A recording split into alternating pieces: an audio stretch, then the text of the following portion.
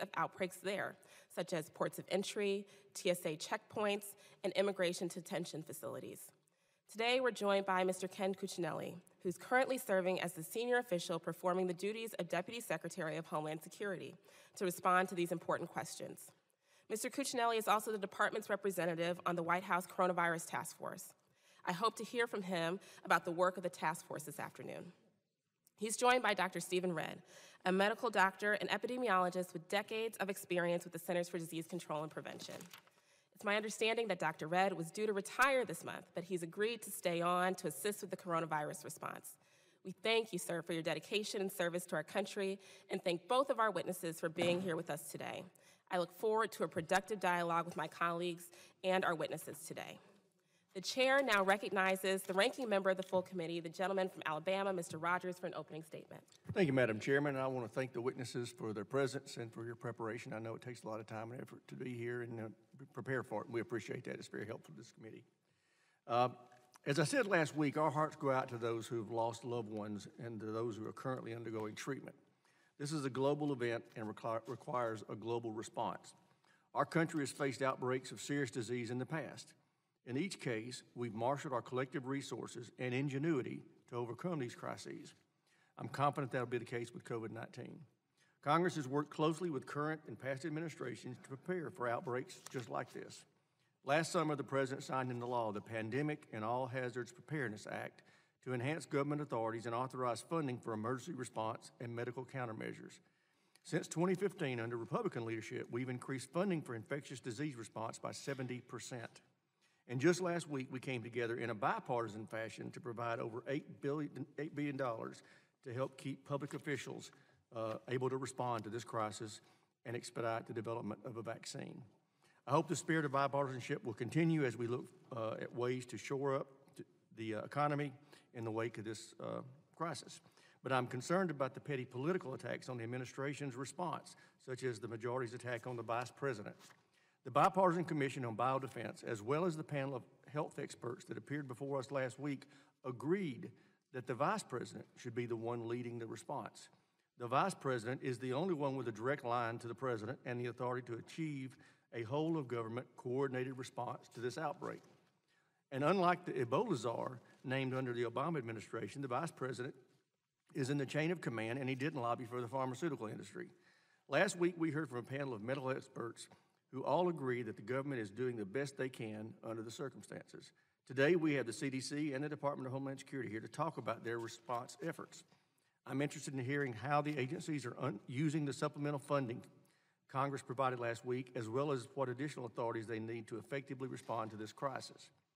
In the middle of a crisis like this, it's very important for political leaders to avoid flaming the fi uh, fire of hysteria. Our job should be to support the response effort and to provide the public with accurate and timely information to keep them safe. I encourage everyone to heed the advice of our medical professionals and our chairwoman. Wash your hands, stay home when sick, visit the Center for Disease Control and Prevention's website for updated information. With that, I yield back the balance of my time. The chair now recognizes the gentleman from Mississippi, Mr. Thompson, for an opening statement. Thank you very much, and I appreciate the uh, Vice Chairwoman's uh, handling of the meeting today. I have uh, some talking problems, so I'll be short. Uh, but let me say the witnesses we had last week said absolutely we have to have uh, effective communication in a situation like this. People have to tell the truth. Well, uh, I'll just say some of the things that we've heard in the past.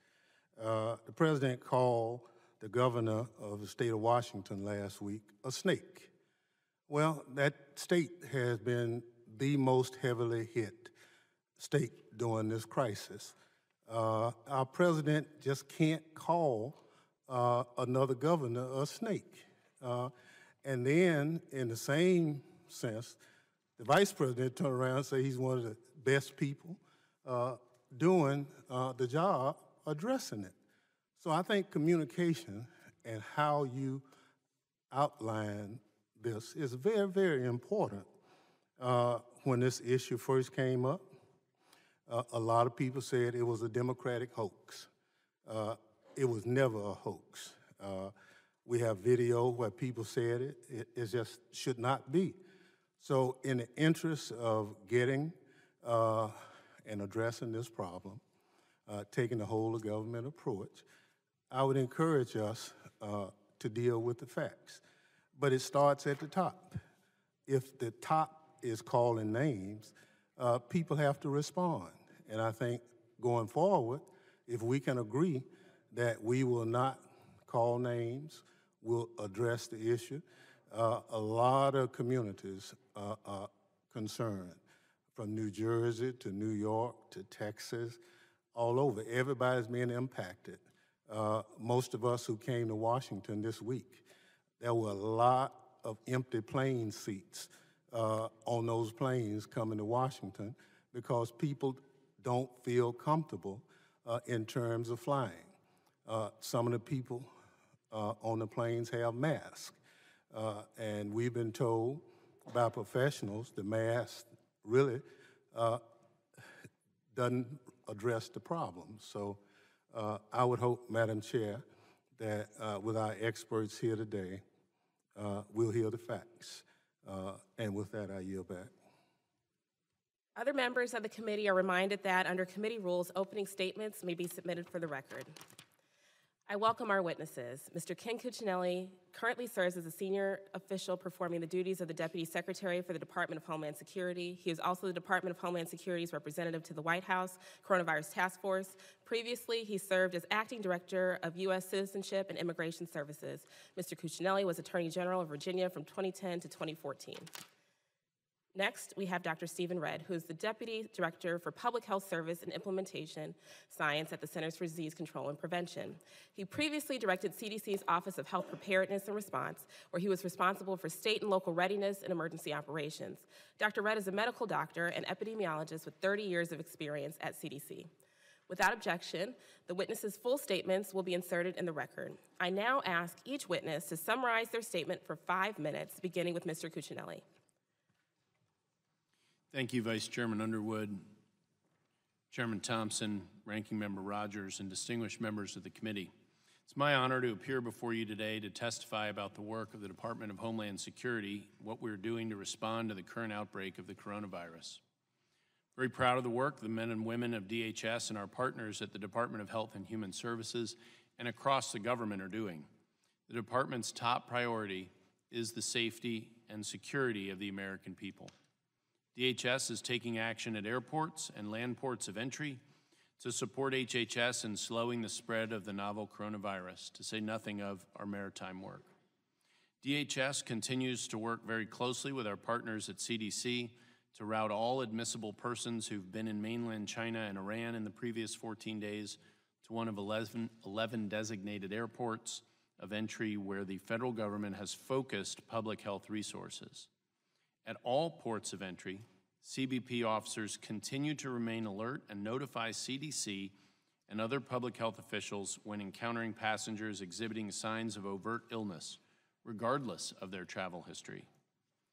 DHS CWMD is currently supporting CDC's enhanced entry screening efforts through agreements with state, local, or private sector emergency medical services, public health, and first responder personnel at all 11 designated airports of entry for passengers who have been in China or Iran within the previous 14 days. CWMD supports the collection of passenger information for CDC to provide direct information to state and local public health officials to facilitate contact tracing efforts. CBP and the Coast Guard continue their work to recognize, detect, and assist individuals arriving through our land ports and waterways. In coordination with the CDC and U.S. Coast Guard, CBP has measures already in place at all ports of entry to identify travelers with overt signs of illness to minimize the risk to the public. U.S. Coast Guard reviews all advanced notice of arrivals 96 hours in advance of the scheduled arrival of a ship in port. The Coast Guard captain of the port communicates any concerns stemming from sick or deceased crew or passengers to their Coast Guard chain of command and the cognizant CDC quarantine station, who will coordinate with local health authorities. This process has been working smoothly across the country. At and between land ports of entry, CBP is identifying persons with recent travel to China or Iran and making appropriate referrals to CDC or the local health system. The DHS workforce is our greatest asset, and every precaution is being taken to keep our workforce safe, especially for our officers and agents on the front lines. Ensuring that these individuals and all DHS personnel remain safe and healthy is a critical and immediately upon the onset of COVID 19 as a global concern, the department proactively took action. The DHS Management Directorate has established a Workforce Protection Command Center to ensure that protective procedures are in place for the frontline workforces who may regularly encounter potential disease carriers and is working with all DHS components to assess their readiness.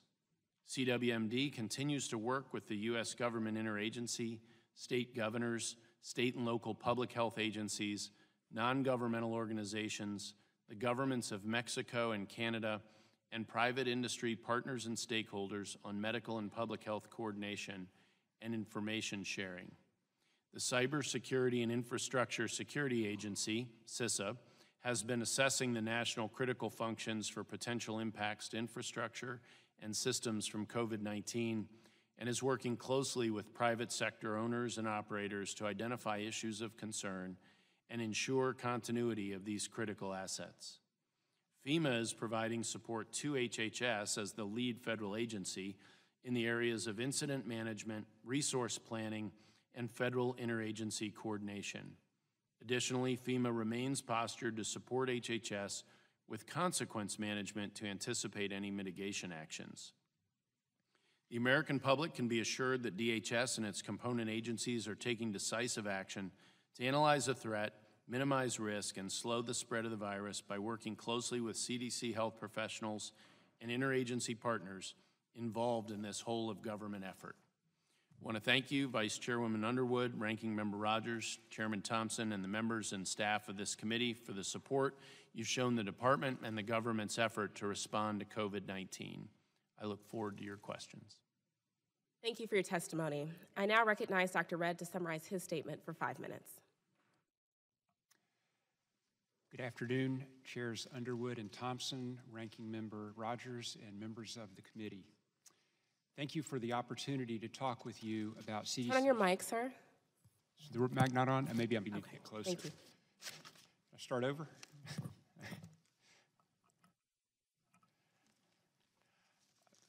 Good afternoon, uh, Chairwoman Underwood uh, and uh, Chair, sorry, Chairs uh, Underwood and um, Thompson, Ranking Member Rogers, and members of the committee. Thank you for the opportunity to talk with you about CDC's role in the um, response to the novel 2019 coronavirus or COVID 19. Before I begin, it's important to recognize that this is a new virus and a new disease the science continues to accumulate. We will continue to incorporate that new science into our response decisions and response posture. There are three overriding themes that have guided our response. First, CDC's role in this interagency response is built on decades of infectious disease experience and planning for pandemic flu and other health emergencies. Second, our response is dependent on support of a network of dedicated frontline public health workers in our communities, the state and local health departments. And third, as we begin to see community spread of this virus, it will be important for all of us to take action in preventing its spread through common sense public health precautions like hand washing, staying home if you're sick, and particularly for high risk and vulnerable populations, avoiding crowds, especially in poorly ventilated spaces. I encourage you to visit CDC's coronavirus website to learn more about what you can do. And thank you for the, the second time we've been able to talk about the website and all the information that's there. From the outset, CDC and our U.S. government partners have implemented an aggressive multi-layered strategies to slow the introduction of this virus into the United States, to buy time so that our scientists could learn how this virus behaves, to prepare our nation's public health system and healthcare system for the possibility of a global pandemic, which, as you've heard, has been declared today, uh, and to educate Americans how best to prepare for disruptions to our daily lives and risk to our families. The administration's interagency containment strategy has relied upon tried and true public health interventions early diagnosis, isolation, and contact tracing, travel advisories and targeted travel restrictions, selective use of quarantine for individuals returning from global transmission hot zones. Without uh, immunity or treatment, our nation's public health response has relied upon detection and contact tracing to slow the emergence of this virus into the United States. February 25th was an inflection point for the outbreak when, for the first time, we saw new cases outside of China outpace new cases within China. We have observed rapid, widespread person to person transmission in South Korea, Iran, and Italy. And before long, we had detected our first case of community spread in California. So, what have we learned? The virus spreads easily and rapidly, mostly through respiratory droplets from sneezing and coughing, going from 30 cases detected by Chinese scientists to over 100,000 cases worldwide in a little less than two months. Reports from China, based on more than 70,000 cases of COVID 19, indicate that about 80% of patients had mild illness and recovered, 15 to 20% developed serious illness, predominantly in older persons and persons with chronic underlying medical conditions. For this reason, CDC has issued new guidance advising seniors to avoid crowds, stay closer to home, and avoid cruise ship travel and long plane trips. As of today, CDC has received confirmation of more than 900 cases of COVID 19 in 38 states, plus New York City and the District of Columbia. It is with great sadness that I report that there have been 31 deaths from this disease in the U.S. As we experience growing community spread in the U.S., state and local health agencies on the front lines will be making difficult decisions to reduce the spread with CDC guidance and support. Thank you for your support for additional resources to increase public health capacity in our communities. CDC has put more than 630 staff in the field and has these are working side by side with other federal partners, state and local partners, and we've had over 1,500 people working on the response both in Atlanta and the field. CDC is committed to this mission, We'll continue to work 24 7 to protect the American people from this global health threat. Thank you, and I look forward to your questions. I thank all the witnesses for their testimony. I will remind each member that he or she will have five minutes to question the panel, and I now recognize myself for five minutes. Americans want to know what they should expect in the coming weeks and months. And our state and local public health workforce and our healthcare system leaders need to know so they can do everything that they can to be prepared. Dr. Redd, I'm looking for numbers here. What are the current upper and lower estimates of total deaths due to the coronavirus that we should expect in the United States? So I, I don't have an exact answer to that question. I think it is an important question. I think that there's a lot that depends on how aggressive our public health interventions are to really determine the ultimate uh, course of, of, this epidemic. There, okay. there, are many unknowns. Yes, sir. What are the upper and, lower estimates for hospital and ICU admissions? I would, give, I would give the same answer I gave to the previous question. The intensity of our public health intervention measures will determine the ultimate impact of, of this pandemic. Okay, and then at current rates of detection and spread, when will California and Washington state run out of ICU beds and then also hospital beds? Again, um, the, the better and more intensive our interventions are, the lower those numbers will ultimately be. Okay. Um, do you expect CDC to do modeling that would be widely reported through like an MMWR or something like that? A, number of groups are doing that modeling. I'm not, I'm not sure what our plans are. We're in communication with modelers from the UK and around the country on those, on those sort of things. A lot of that has to do with um, estimating the value of interventions that might be undertaken and where they would have the greatest impact. I, so I'm not, I, I don't know whether or not the, those things from inside will be published, but there is a lot of information out there already. Okay. For our health system to prepare to handle a surge in patients while protecting its workforce, providers need to be able to test every patient who meets the criteria based on symptoms and exposure. But we know that right now, as the governor of Illinois just said this morning, not everyone who should be tested has been. Dr. Redd, since December, how many Americans who meet the current criteria for being tested have actually been tested and received their results? I can give you the number of people who have been tested, um, and let me, let me find that in my cards here. Um, Okay. The, the, the guidance has changed, as you know, recently. I know. allow- That's why we're asking about the current criteria, sir. Right. Um, I think we're around a little bit more than 1,700 people have been tested by CDC. There's a lot of testing happening in state health I understand department that. labs now. Um, Let me, if I might, take the opportunity to talk about, and tell me if you want Well, Dr. Redd, what we're really trying to understand is the number of tests that have been completed, how many tests need to be done to accurately depict community levels of spread in the United States. Do you have that figure? I, what I'd like to do is walk through how the laboratory testing works in the United States. Okay, Dr. Redd, we've heard that briefing several times here in the Congress. We have some very specific questions, sir. What's your plan to support states and communities to get those tests done? And when will that be done? So we've, we've taken aggressive action over the last several weeks. Uh, CDC has sent a material sufficient to test 75,000 people through the public health system. Right. There are over a million uh, tests available through the commercial system. Yes, sir. Both of those numbers are increasing as we speak. Right, but my question, sir, was what's your plan to support the states to get those tests done for every single person who should be tested that meets the current criteria? There's a big gap between 1,700 and 75,000 and a million. Those are the three numbers you just outlined for us now. That's true. Um, the, the, I think that there are two different systems in play here. In the public health system, and this is not just for this disease, but in general, the role of the public health laboratories are to detect cases early of new diseases and then to be able to do representative testing to estimate the overall burden of disease. Right. There's a separate system, the clinical system, which is really for clinical care. Yes, sir. Make sure that a person gets treated for the right disease, that we don't assume that he has COVID 19 when there's a different treatable disease.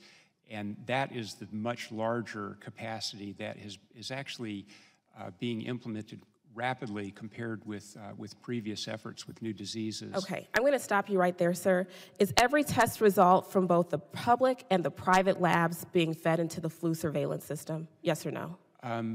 Right now, the, we're working to include the, pri- the commercial laboratories in that system. Um, the large commercial systems are being included, the public health laboratories are being included. There are others that are going to be kind of outliers that we'll work to include, but that would, that would be the ultimate aim. Okay, while there's still a lot that we don't know about the pathology of the coronavirus, we're seeing that seniors are among those experiencing higher mortality rates. So, in addition to the coronavirus.gov that we both spoke about, CDC has a coronavirus information hotline, as I'm sure you're aware, for those who don't have internet access or who may not be as internet savvy, like some seniors. When the committee staff called the hotline, they consistently faced wait times of 30 to 60 minutes. How is CDC working to improve this hotline? Let me get, let me get back to you on that. I think that's a very important thing that needs to be corrected, and so Okay. we'll take action on that. Um, just more broadly, sir, our job is to steer the federal government towards the best possible outcome for public health. Modeling estimates help us evaluate outcomes. Surveillance informs modeling, and tests inform surveillance. We need to get all three right, sir, and we'll be making some really important decisions without a comprehensive view of what we're facing. So, Dr. Redd, we're going to be sending over some follow up questions for you in writing, and we would appreciate your help in ensuring a prompt response. Thank you. I now recognize the ranking member of the full committee, the gentleman from Alabama, Mr. Rogers, for questions. Thank you. Uh, Mr. Cuccinelli, uh, this morning, the CDC director said Europe is the new China in terms of outbreak. Is CBP uh, doing more screenings of international travel from European countries to the United States? So, uh, as each country, or in this case, region, um, becomes more and more problematic, it obviously uh, gets reviewed on a day-to-day basis. And I would tell you that it isn't just CBP.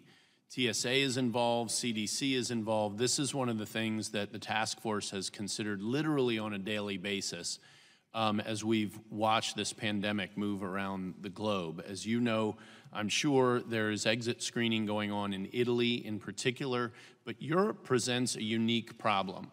And because of the Schengen zone, where their borders effectively don't, they don't have borders for purposes of travel, um, there's 29 countries that we have to confront here. And the question arises, um, does treating, we'll take Italy, we'll continue with Italy, Italy in the fashion we would China or even South Korea as a unitary entity even make sense.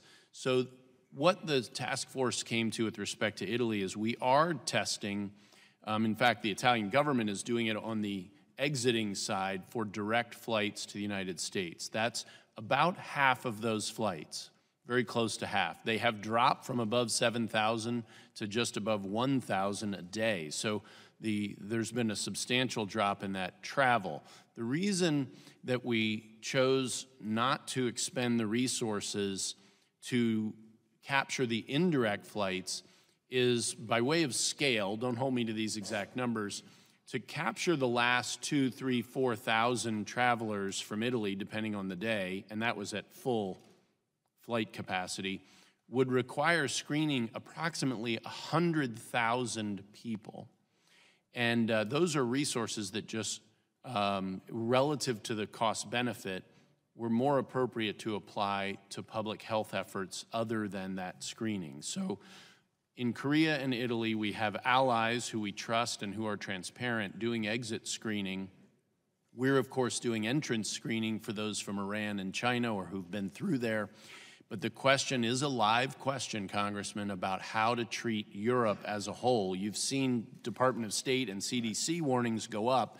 Uh, that is not to the level of using legal authorities to block travel yet, but it is under consideration. Well, and it should be. That's the reason I brought it up. Right now, we're just dealing with a handful of those countries, as you know. Right. Given the freedom of travel throughout the EU, my view is we should be treating it as a region, as a unit, and, and, expecting them, uh, them accordingly. Let me, let me ask, you know, we just passed in a bipartisan fashion an $8.3 billion supplemental to help with this. I know a lot of that's going toward vaccine development. Right. Uh, but it went from two and a half billion to 8.3 billion real fast. Tell me how that money's broken out. What you going to do with it? Well, as you probably know, the money that DHS receives comes through HHS. So I'll give you an example. FEMA has been with uh, ASPR since, for about a month now, at their request as the lead federal agency in HHS.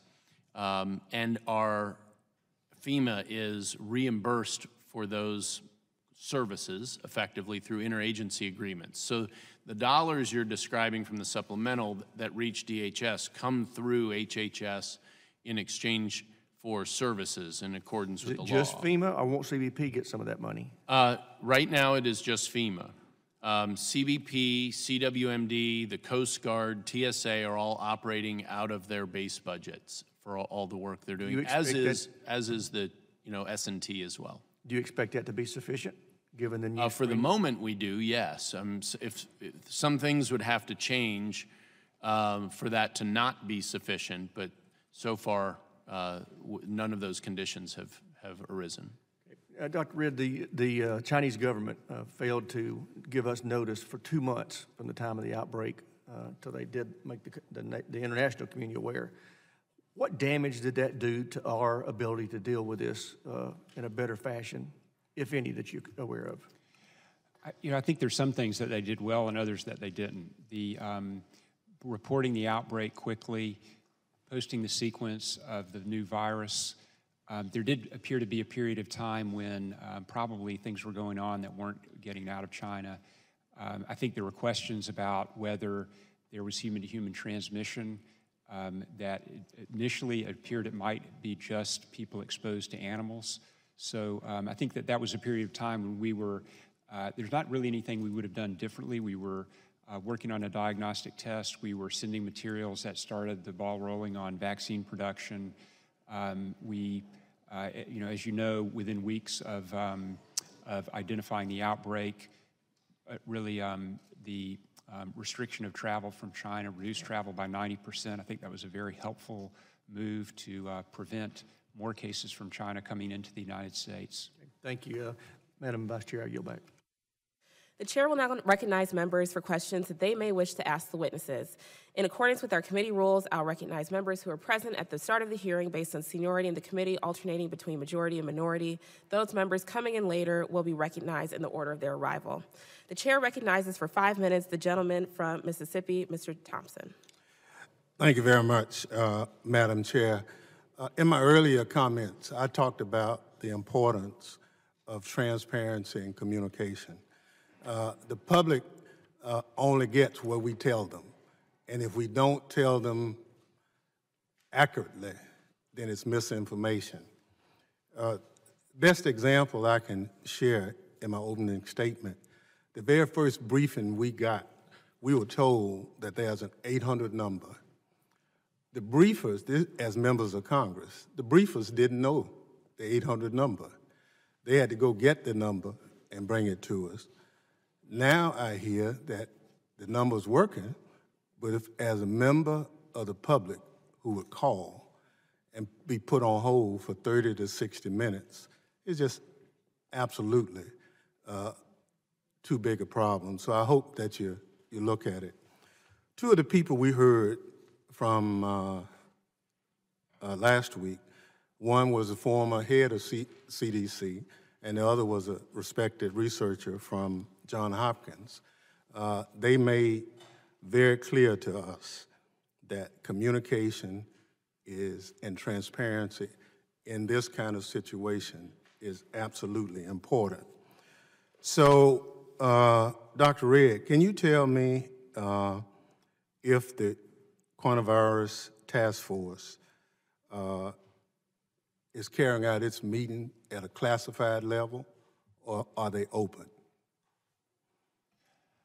Uh, I, I know that the meetings are being held in a classified facility. I don't think that they're classified. Well, I, I want you to check because I think there are some challenges uh, in that arena because they are, in fact, classified. And part of the problem a lot of us are having is the overclassification of information to the point that the public doesn't know.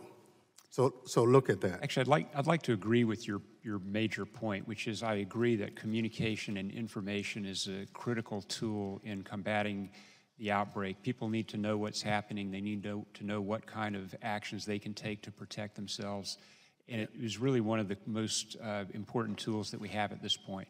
So, uh, in line with the chairperson's uh, question, how many test kits do we have as of today? So from the, on the public health side, 75,000. On the, um, on the commercial side, over a million. It's somewhere between one and two million right now. The numbers are increasing rapidly. So, how would the test kits be dispersed? So the, on the public side, they go to state health department laboratories and other laboratories that are part of our network for influenza surveillance. Um, I, actually, on the commercial side, it's however that system normally works. So depends on the company. Um, some of them have facilities. Well, you know, we, we're trying to help the public. And the public, you tell them we have a million test kits, but if somebody from CDC in your position can't explain to me how the public can access those kits, that's not very helpful. I, I agree with that. I think that what, um, what people need to do if they feel that they are in need of a test is the first thing would be to call their doctor. The doctor would then, depending on how they have access to the test, it could either be through the commercial system or it could be through the public health system. So, That so person- are those 70 75,000 test kits that you talked about that are publicly available, does that address all of the current needs here in the, in the United States. It doesn't, it doesn't, and that's why the commercial manufacturers are such an important part of this. uh, Absolutely. But are they talking to each other?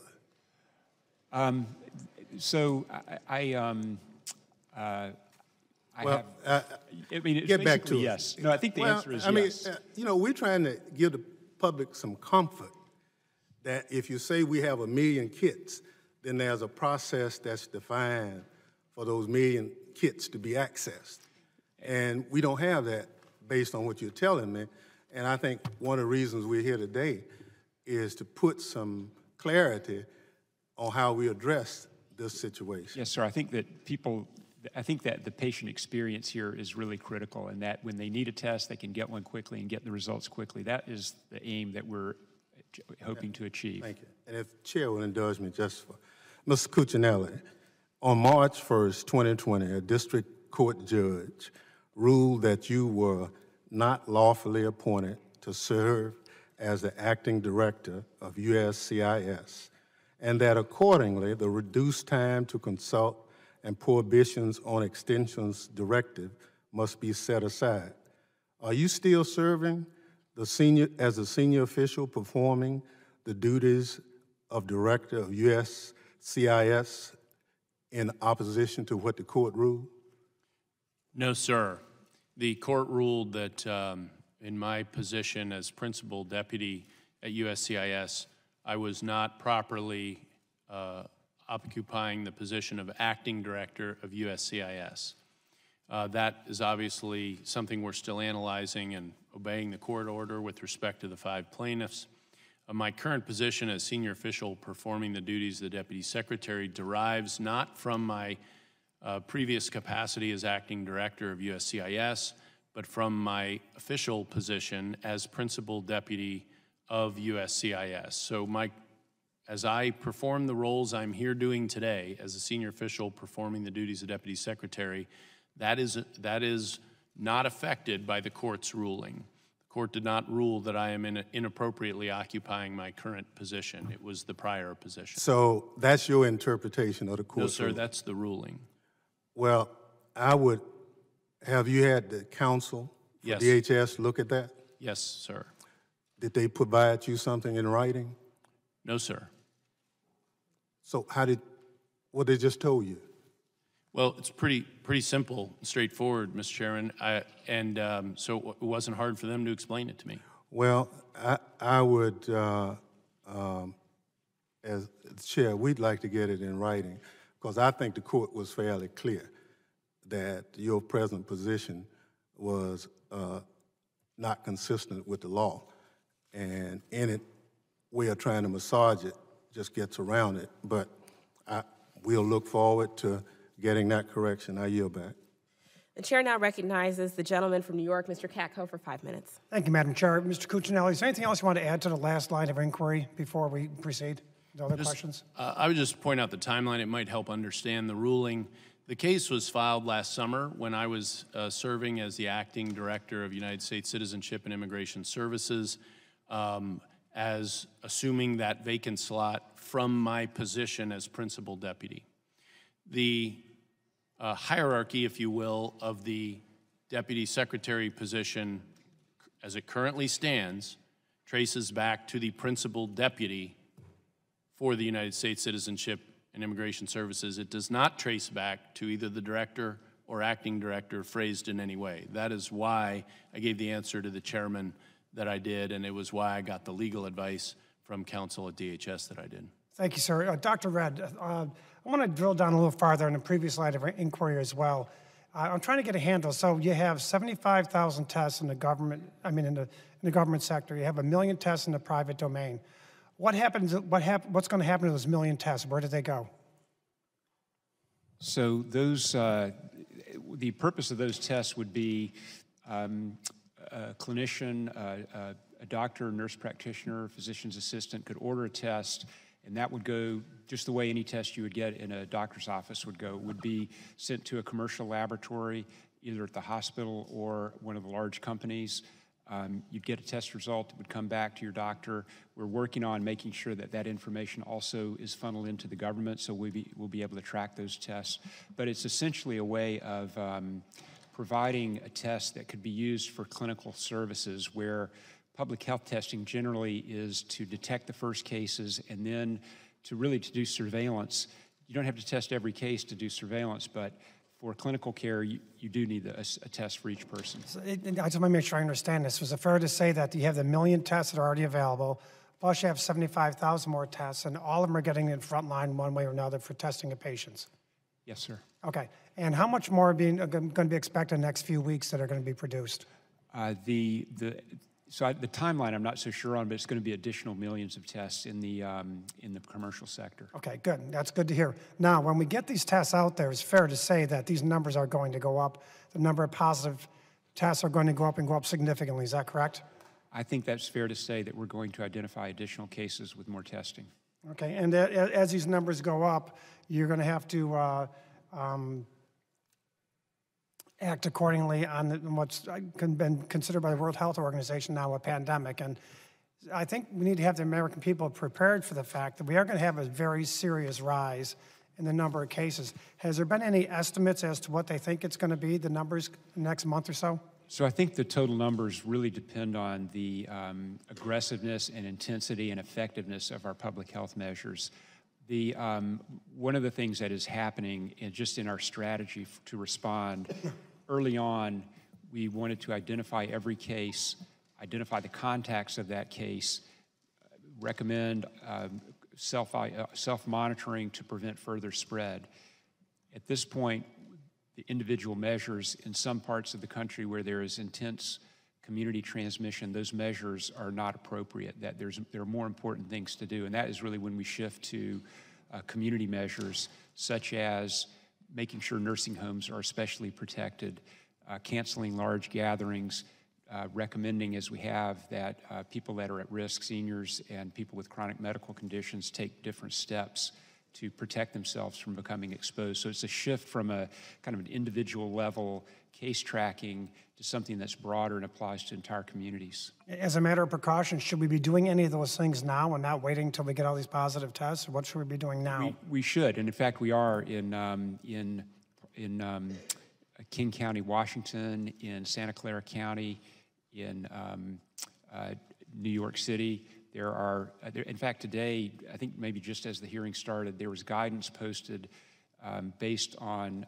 doc, a guidance document that we released a few days ago, but tailored specifically for uh, King County and Santa Clara, working with the health departments on you know, what does it mean to actually apply this guidance to your community at the, in the situation that you're in right now. Um, I think that the, in general, these measures are more effective the earlier they are implemented. And we've seen that in other parts of the country, uh, world, in Singapore, Hong Kong, where they've taken very aggressive measures. Um, and in those cases, had really good success in um, preventing the kind of transmission that we'd like to prevent. And lastly, um, the line of uh, the lab testing, uh, could you just briefly explain to us, just so we're clear, how does the lab testing actually work? So um, a, um, a specimen is obtained from a person. We're, we're actually, um, the way that it's been done up now is a nasal specimen. So there's a, um, a device that's stuck in the person's nose to collect a specimen, a throat swab. That is put in transport medium. It's transported to a laboratory. There is a, um, a process of denaturing that, uh, that specimen that might contain a virus. That uh, denatured specimen is then put into a machine that assays for um, specific parts of the nucleic acid, the genetic material of the virus. Uh, there are also a set of positive controls, so to make sure the test would find it if it's there, and negative controls to make sure if it's not there, it wouldn't be detected. Um, that then yields a yes or a no result. It also can tell you the concentration, something that's called um, cycle threshold. That's basically the number of times the machine has to go through this cycle. So a high number means there's not that much virus there. A low number means there's a lot. All right, thank you very much. Yield back, Madam Chair. The chair now recognizes the gentlelady from New York, Ms. Rice, for five minutes. Thank you, Madam Chairwoman. Mr. Cuccinelli, during the past public health crises like Ebola and H1N1, the Department of Homeland Security played a pivotal role in a clear and coordinated federal government response.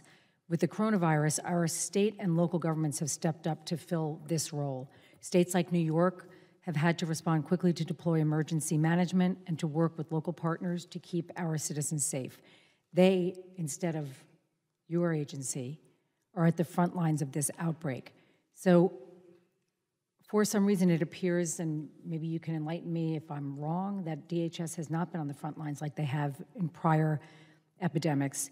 Um, and so, could you clearly state what DHS's role has been in responding to the coronavirus and what you see as your role going forward? Certainly. Um, In, as we move further and further away from containment, which is where the Department of Homeland Security has a significant role, and into mitigation, which we've been doing for weeks now, um, as Dr. Redd has referenced implicitly a number of times, the uh, frontline folks, and just pure volume of numbers, are your local and state public health authorities. Um, This is, uh, we're following the pandemic plan put in place two years ago, which was the most recent iteration of that plan, and it in fact calls for uh, extensive cooperation with the federal government supporting local and state efforts. Um, the sheer number of medical and, uh, and healthcare professional personnel required to address a pandemic like this puts us in the position of necessarily um, relying on state and local officials to be frontline fighters in this effort. And I'll give you an example. When we saw the Grand Princess problem developing off the coast of California, um, we had a unified command set up between the Coast Guard, CDC, California. But in practical terms, because those people were going to land in California, were most likely to be impacting California healthcare facilities and capacity, California very much had the lead and did a great job with it. And um, we're being very careful not to step on states or to tell them what to do. Um, we are partnering with them as best we can. So, Okay, thank you. I'm just going to stop you there. Sure. It's now being reported um, that in my home state of New York, we have almost 200 cases of the coronavirus, which makes it one of three states with the highest number of cases. Before this hearing, I spoke with the head of the Department of Health in Nassau County, which is on Long Island, which my district is encom- fully encompassed in.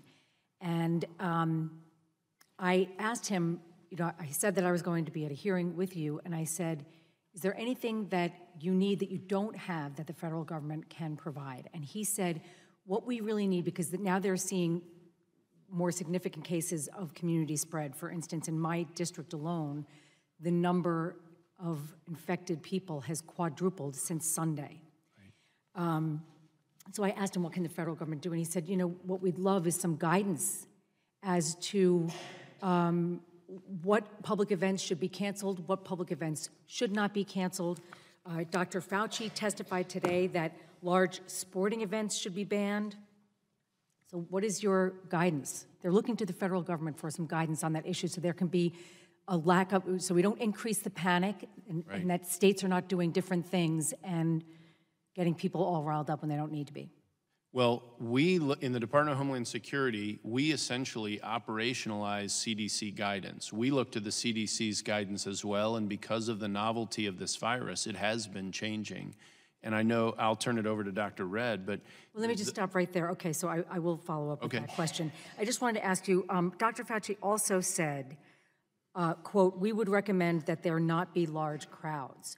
Would you consider a political rally in an arena that is filled to capacity with between eight and 12,000 people? Would you consider that a large crowd? we would consider probably anything over a 1,000 people a large crowd. Okay. Doctor, if you could, the question that Mr. Yes, I think, I think that the, um, the purpose of the gathering wouldn't determine whether it would be, uh, you know, Well, let me tell you, do you agree with Dr. Fauci on that, that there should, there should not be, he, that he said we would recommend that there not be large crowds? Would you recommend with him? I would. Would you, Mr. Cuccinelli? Again, we look to the medical professionals I'm for asking that your opinion. You are in I'm this sorry, I'm with not going to give you my opinion. I'll tell you the opinions I look to to operationalize So when do we you do our agree job. with, do you agree with what um, Dr. Dr. Redd? Redd is saying? Uh, Well, I I certainly Yes or look to his employer for CDC. Why can't you where we- answer this question? Well, I'm- I'm sorry, I don't, I don't know that Is it's it because the president has said that he has no plans to not have people, thousands of people gather together in large crowds? Is that why? Because So Dr. Redd said it in two seconds that he agreed with Dr. Fauci. Can you please give me a yes or no answer? Do you agree with Dr. Fauci when he said we would recommend that there not be large crowds? I'm not prepared to do that. Okay, that's quite unbelievable. I think my time is up. Thank you, Madam Chairman. The chair now recognizes for five minutes the gentleman from North Carolina, Mr. Walker. Yes, do you need another minute to kind of go into detail, or are you satisfied with that answer? Congressman, when we had this decision that, that uh, we had to make last week, it wasn't 1,000 people, it was about 200 um, at our Seattle office. We uh, took into account what the local authorities were doing. That was part of our decision-making process. We will adjust our decision-making based on what is going on in the particular community at issue. Um, Would I uh, have less reluctance in agreeing with Dr. Fauci if we were talking about Seattle? yes. Than if we were in the middle of, you know, uh, an area of a state that was not experiencing So it's- it's- interruption? the Absolutely. It's subjective. I know our uh, Democratic governor just uh, ruled that the NCAA tournament there uh, in North Carolina should move on, so some of this could be geographically influenced. Would you agree? Absolutely, and, and again, depending on what is going on in that local area. The, uh, what procedures do you have in place? Uh, Specific question here. I was recently in the Rio Grande Valley border. Over 60 different uh, countries, uh, or or migrants from 60 different countries had, had been apprehended. Uh, This year alone, I believe several hundred Chinese nationalists have been apprehended as well. Uh, The procedures in place, if you arrest a migrant that is showing signs of respiratory problems, um, how do you handle that? Do you separate them or isolate them? How, how what's the procedure in handling this? So we have, prior to the existence of this virus, in place standard operating procedures because we do confront communicable disease on the southwest border with a certain degree of regularity. Um, those folks are transferred to ICE. They have quarantine procedures. If that is not available, CBP is in a position of having to rely on local healthcare systems to provide that support. Those are the two avenues we have. Appreciate that. Uh, Dr. Redd, uh, thanks again for your uh, long-term service. Appreciate what you're doing. There are reports that there are two strains of this virus. Um, If the virus continues to mutate, does this possibly slow efforts to develop a vaccine or, uh, or contain it in other aspects? Well, viruses that are, um, have the genetic material, is ribonucleic acid, when they, uh, they naturally mutate. It's, it's, in fact, the, the, um, when we do sequencing, you actually get a, a bunch of different viruses, and there is a consensus sequence. So I think that they just naturally mutate. I don't think we can predict what will happen with the virus. It would be unusual for there to be enough mutation that a vaccine that we would produce against a strain now wouldn't work because of, uh, because of that kind of drift. We had a very strong presentation yesterday in conference from uh, Dr. Scott Gottlieb, uh, who was pointing out the fact that he believes, in his opinion, that this will um, slow down in the summer uh, or dissolve a good bit, but have a maybe potentially a small spike back in the fall. Is, is that what you guys are seeing as well? I think we hope that in the summer we will see a drop in, uh, in transmission. I, I don't think we could say that we know that. Um, that what you're describing is what happened with H1N1, where we had a fall or a, a spring wave. Things went low in the summer, still had more flu than usual in the summer, and then in August and September we saw a big increase. I think that that does, if that were to happen, it would be a great thing because it would give us time to be more prepared for that fall wave. Right. And traditionally, the flu follows that pattern. Is that correct? That's true. Okay. Uh, we talked about it already. The World Health Organization has now listed this as a, a pandemic. Does that modify you guys' approach or change anything as far as the way you're moving forward with it? It really doesn't. I, I think what that declaration was something that people working in this already knew, that it's, it's around the world and there's lots of community transmission around the world. Okay, thank you. We'll get time for another question with Mr. Cuccinelli. Uh, do you have a plan for FEMA should uh, an area that is the center of an outbreak, we were just talking about geographic and maybe demographics as well, if there is an outbreak uh, uh, that could be considered maybe, uh, maybe a natural disaster, how does those two connect and what is your role in this? So uh, you're probably familiar with our IMAT teams that get deployed. For instance, Tennessee just had uh, de- devastating tornadoes, and uh, FEMA deployed its IMAT teams and then followed up with support.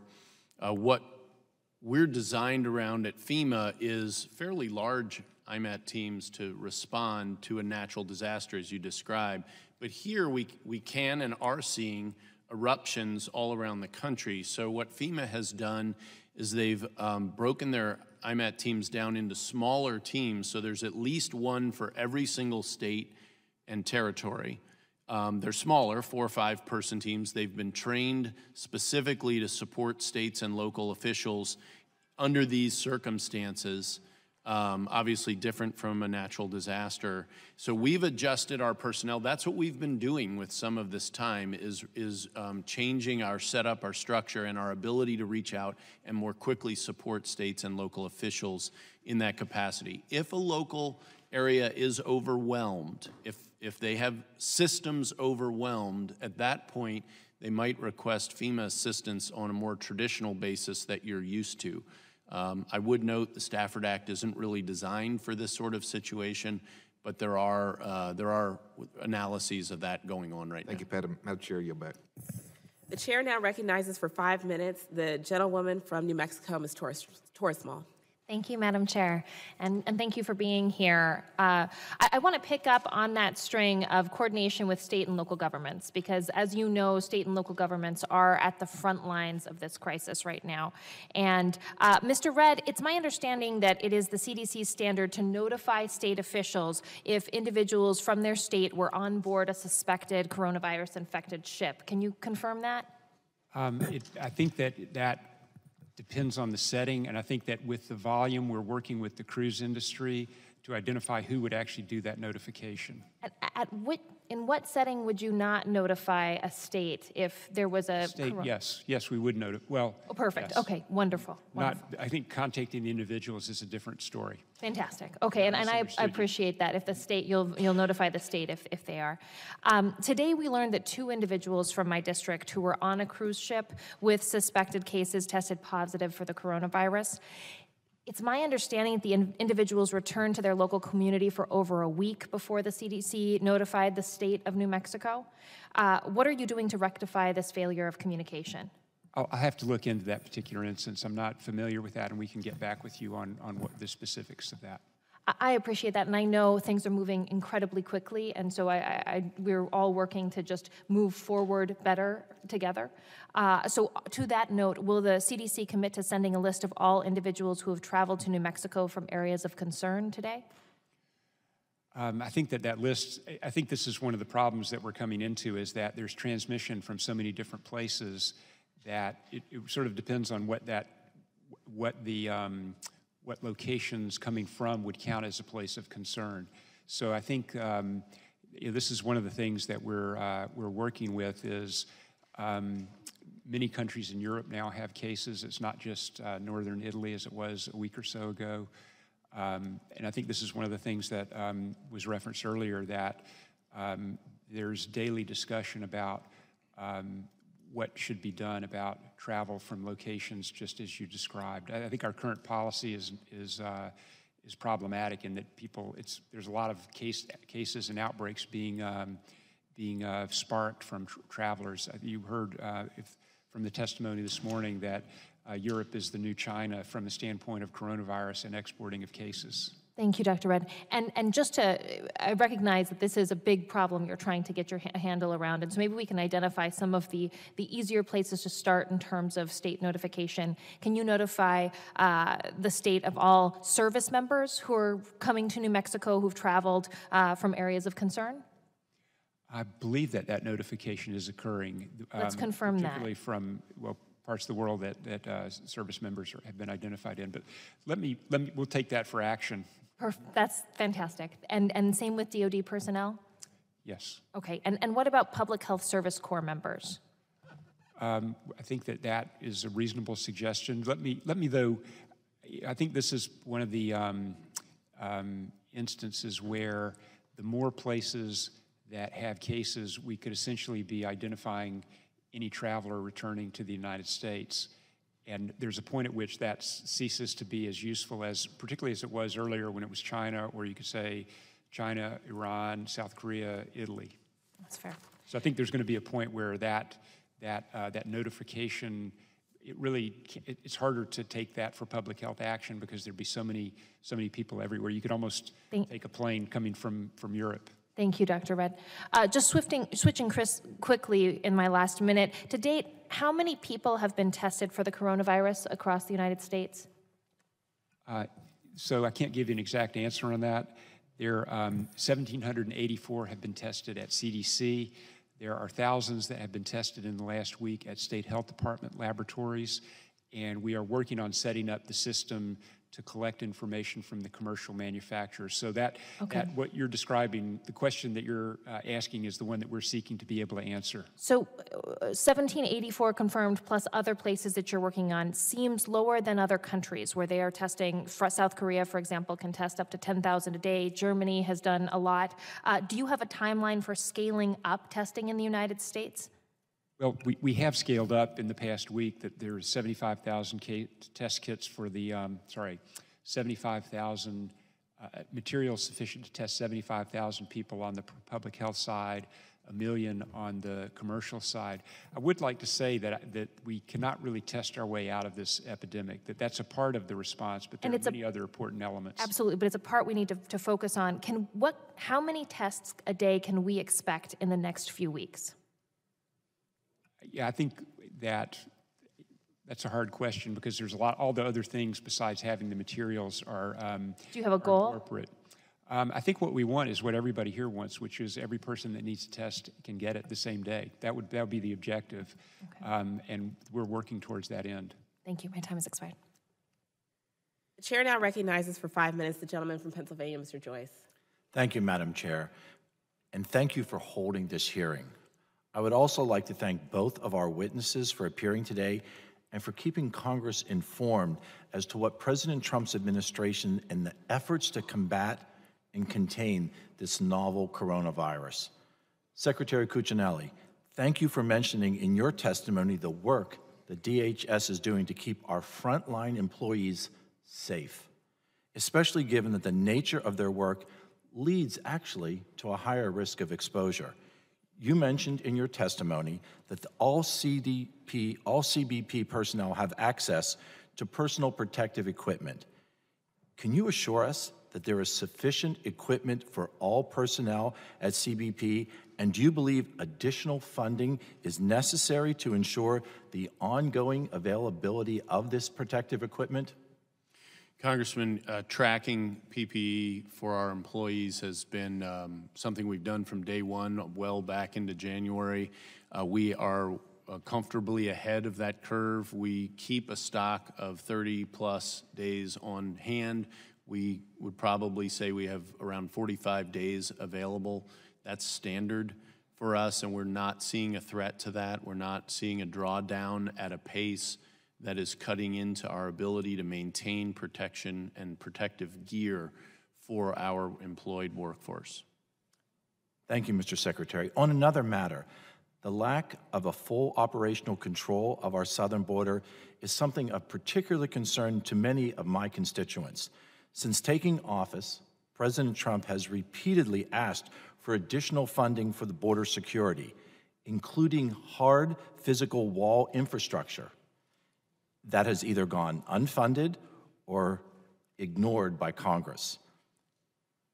Briefly, Mr. Walker said this, but given the control that comes in and out of our nation is at the hands of CBP, it is imperative that we seek to prevent this novel virus from coming in through our borders. Do you agree that fully funding the president's budget request for border security is necessary for the protection of our country?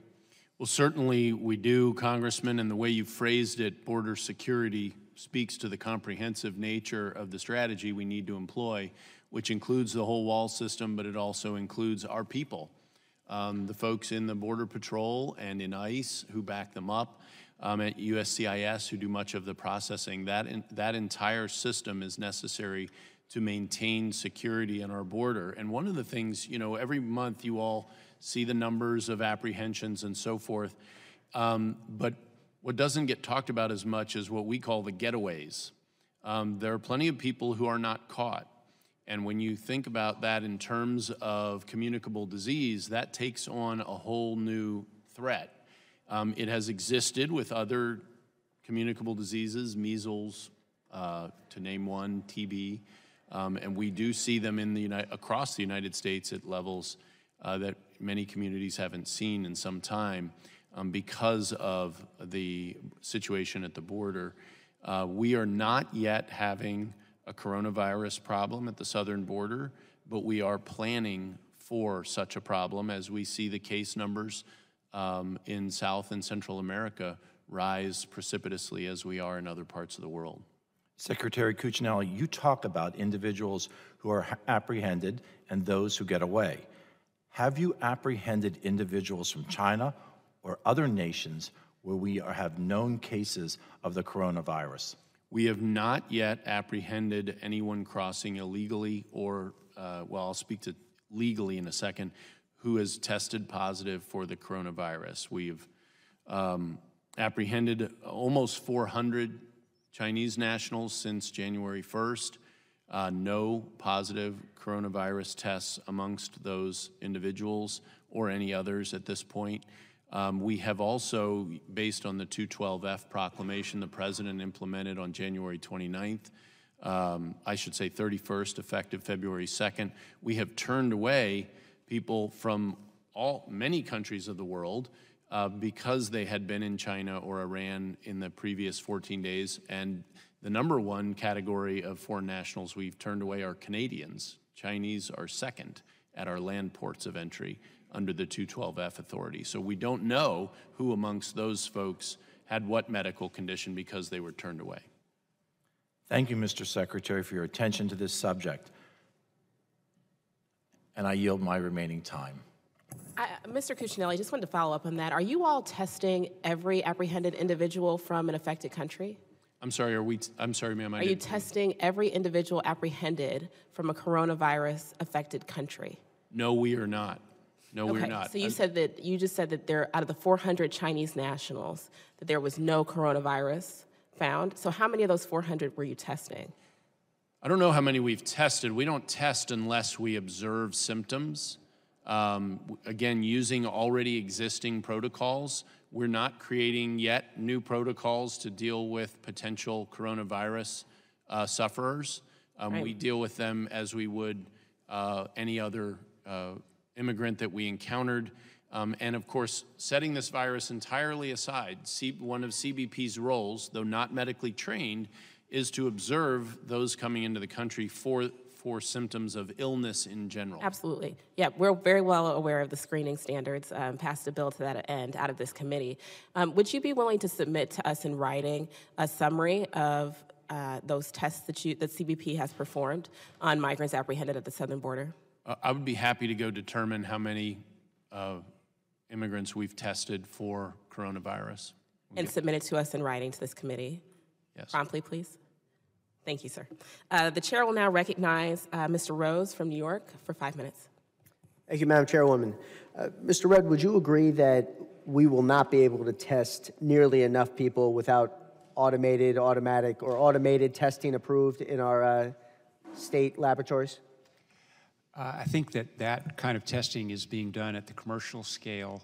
I'm not sure it's necessary in the public health scale side, and that's where these different roles that the two types of testing play. So may, maybe I'm confused about something. My understanding is, is that automated testing needs to be approved by the CDC in conjunction with the FDA before it can occur in any laboratory, private or commercial or public.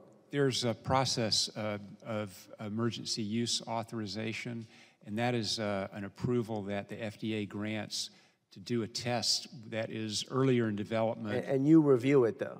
Well, we, we develop it. We, we basically. So has any, is it exponentially increases the number of tests that can be conducted in one day? It's significant. And we need for it to happen as quickly as possible. You would agree with that? Right, I, I think that's right. I think whether we do that on the commercial side or in the public health side is I don't care what laboratory is doing it, it's got to happen. exactly. Has any laboratory in the country been approved for automated testing yet? I um, am, I can check on that. I can tell you that the LabCorp and Quest use those kind of systems and they've been approved. So is it happening anywhere in the country? It's happening in those laboratories. Okay, Let because me- it's not, Let me, not, ver- let me verify that. that way, though. there's a difference between semi-automated, there's manual, semi, and then full automated. We have to get to full, fully automated, correct? Let's, and let's check to, I'll, I'll, Because I can tell you, not one laboratory in New York has been approved. Can I have your word here publicly that you will make this a top priority to get not just in New York, but as many laboratories across the country approved for this as quickly as possible? I think, I think we want the same end, which is to have really every person that needs to be tested be able to get that test done the day that they, that they need it. And to that end, I think the exact means that you use to get there, I wouldn't, I, I don't want to quibble about But, that. but you, you, you do agree we can't get there without automated testing, S- Some level of automation, certainly. some level.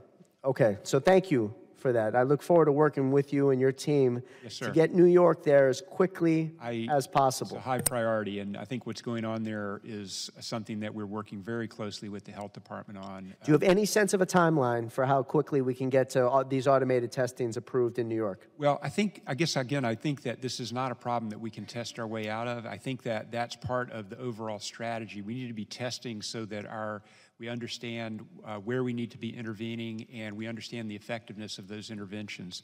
So actually, I don't think every, for public health purposes, every single person doesn't need to be tested. For, for example, um, in the influenza pandemic 10 years ago, we, did, we weren't able to test everyone. We didn't need to test everyone. Uh, our public health interventions were guided by uh, the ability to extrapolate from the laboratory tests that we had. Of course. Different for clinical Absolutely. Those who have symptoms, though, those who are symptomatic should be able to be tested same day. And we can't do that without these testings. It's necessary, it's not Especially- sufficient. Right, and, s- but especially for clinical purposes. The, the public health, you know, doing a representative sample doesn't help you if you're the patient and your Abs- doctor's trying Absolutely. So my, decide. my apologies in advance that we're going to be contacting your office every single day until this happens in New York don't need and to across the apologize. country. Uh, Mr. Cuccinelli, thank you, thank you for your service. Um, Want to talk to you about foreign travel. Um, Is my understanding that those foreign nationals traveling from China and Iran are now tested upon reaching a domestic airport? Is that correct? No, that is not correct. They are barred from entering the United States. Okay, so in terms of foreign screenings, though, where, which nations are we doing screening at? So uh, the, the way it works is the 212F only covers foreign nationals. The president doesn't have the authority under 212F to do anything to you and I as United States citizens. So U.S. citizens, lo- legal permanent residents, and their families come in. Those are the people being screened at the airport. So an American citizen flies from China, and there are still some flights, um, to one of the 11 airports. They encounter a CBP OFO officer, the blue uniform folks you see when you come from another country. You show them your passport. Now they're going to see you came from China, and they're going to send you to secondary screening. That screening is run by CWMD, our contract medical personnel. And unlike the traveling questions that CBP asked you, they're going to ask you medical questions. These are medically trained personnel. This is upon entry to the United States. Correct. At the I- Is first there any consideration of expanding that to other nations that are hard hit by this, Italy, for example? Yes, there is con- regular consideration of that. Okay. Um, Do you think that's a good idea at this, knowing what we know right now, to expand that to South Korea, Italy? Well, in the particular cases of South Korea and Italy, uh, those allied nations took very quick affirmative steps to start performing exit screening. They are essentially doing on exit what our medical screeners would do on entry. Um, and they did that in part to avoid being swept into a 212F situation. And that was uh, acceptable to the president's task force, and he accepted it because of their transparency. Uh, these are allied nations who are being very upfront with us about what they're receiving. And, and they're also barring passengers who, for instance, test over 37 and a half degrees centigrade. uh, for a temperature, just to use an easy Right. one. All- All I ask is that please keep us posted on your analyses going forward as to whether that should be expanded. Glad expanded. to do so. Thank you. Oh, yeah, I'm gonna wait for him to sit down. Okay. The chair now recognizes Mr. Bishop for five minutes.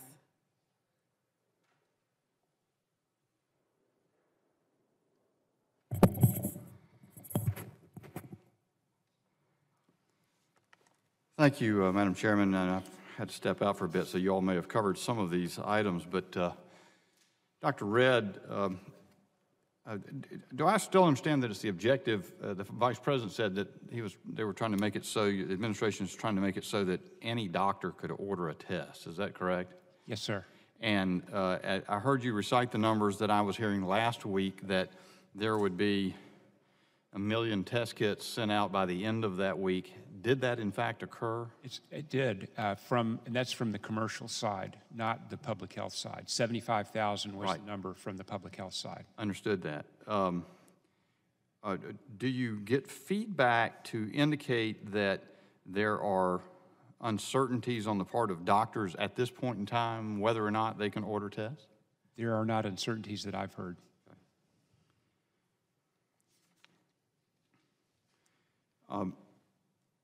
Word is that schools and universities are closing. Uh, North Carolina uh, has several. Is the CDC recommending uh, pulling classes until the virus is more contained or slows?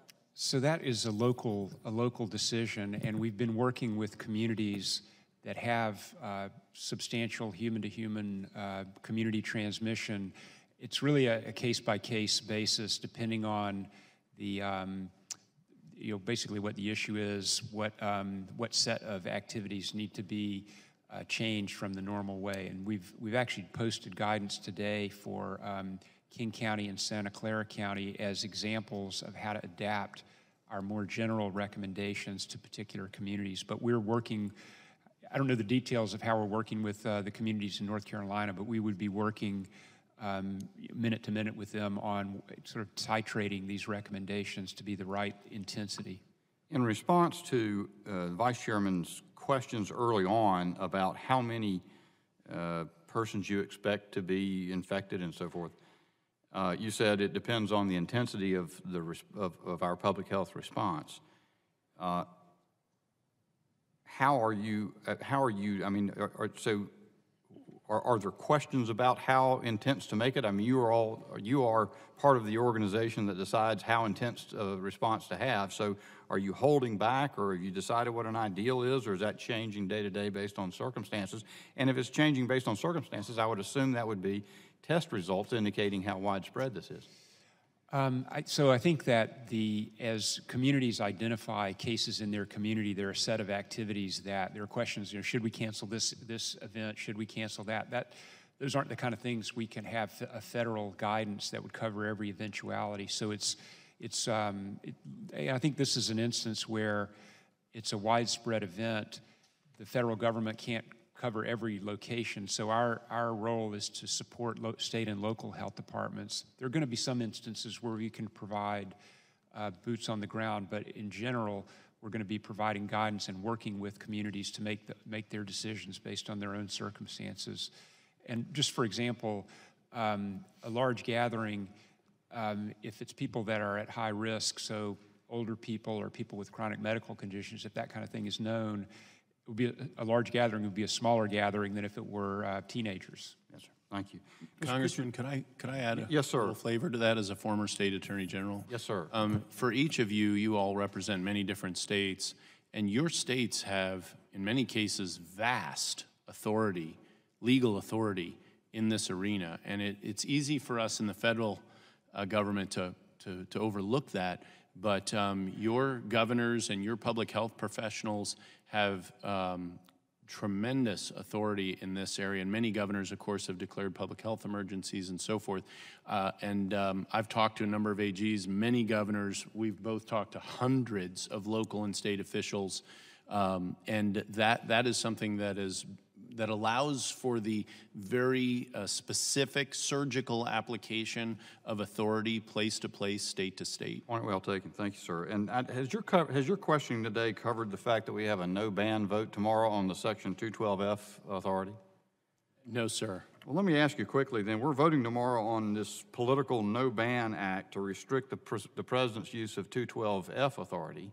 Didn't the president use 212F authority here in, in order to have an early intervention to stop Chinese uh, uh, folks, nationals from coming in in a way that's helped the response to the? That is exactly what he used. It was available to use quickly at the advice of the task force, and it has been effective.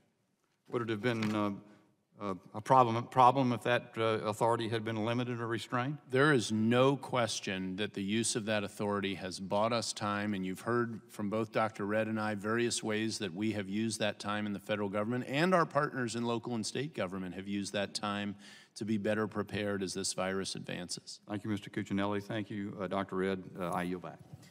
The chair now recognizes Ms. Slotkin uh, for five minutes. Uh, thanks, gentlemen. I, I just want to say um, at the outset that I'm really invested in your success. I think that um, we heard from the former head of the CDC, who served, I think, under the George Bush administration, um, who talked about the importance of trust and how critical that is in a public health um, crisis or moment. Um, and so I really want you to succeed. I want all of us to succeed. We're all on this boat together. Um, and so I, I really want um, to have clarity for the people who are at home who are looking to you all and to us for guidance. Um, uh, I guess I have the question on preparedness. And I think we've heard a couple of times um, uh, from you, Admiral Redd, that um, the, the earlier we intervene, um, the fewer number of cases and the, the lesser the spread, um, for lack of a better term. Um, I've seen other countries take much more aggressive steps. You know, Italy is now um, obviously has a lot more cases, but they're they're tr- banned travel. People are staying in their homes. There's no um, uh, going to tourist destinations. There's no public gatherings. Um, should there be anything else um, and guidance that we give beyond public health, washing your hands, staying, giving a social distance? Should we be telling our businesses to go to telework if at all possible? Should we be getting people out of offices and schools? Not because this is such a terrible threat, and I don't want to incite, I'm not, I'm, I'm just saying preparedness helps us blunt, you know, unnecessary panic. Preparedness, preparedness does help. I, I would point to um, Singapore and Hong Kong of, as examples of uh, aggressive early action that has blunted the, uh, the epidemic. So- I think in the case of Italy, uh, it may be a lot too late. It got away from them.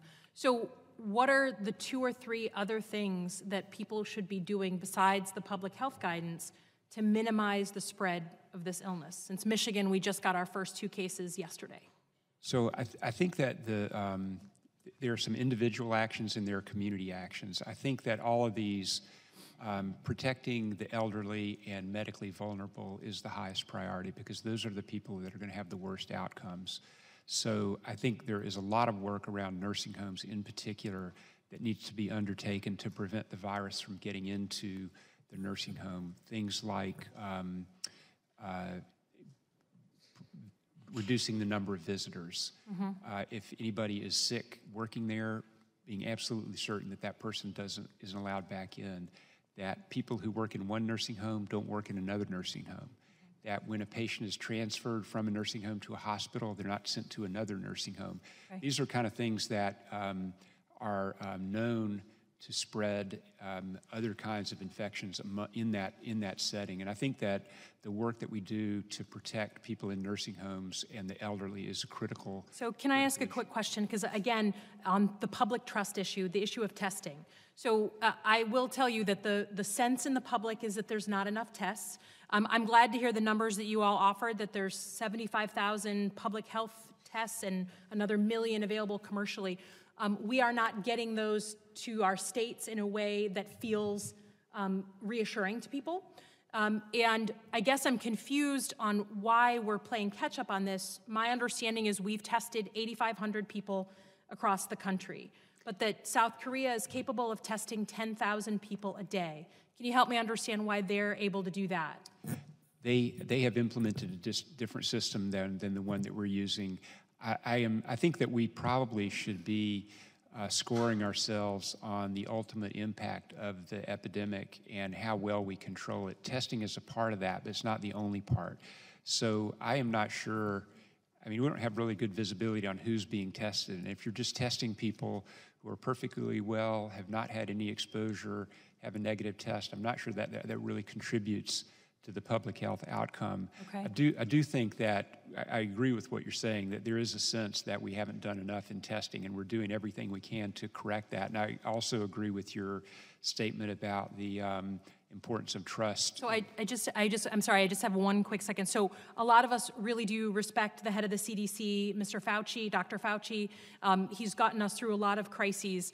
Uh, uh, I guess I would ask um, that while you've, you've devolved a lot of things to the states, and I understand things are going to be certainly a little bit different, I guess I'm, I'm just a prisoner to the fact that I was on, in New York City on 9 11. And whatever people think of Rudy Giuliani, he was clear, he was available, he was telling us what was good and what was not good. And I, I'm telling you that people are missing that.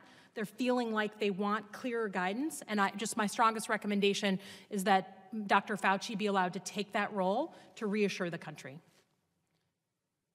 The chair now recognizes Mr. Crenshaw for five minutes.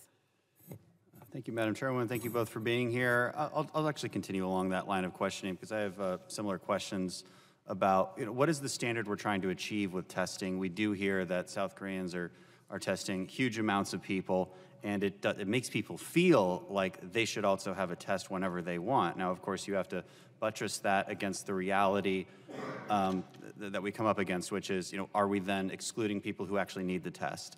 And so I- I do want to get a, a more detailed sense from you of where we should be. What is the right, realistic standard that we should be trying to achieve with respect to testing and availability of testing? Should the threshold be lower than it currently is? Because right now I believe you need doctor's orders to get a test.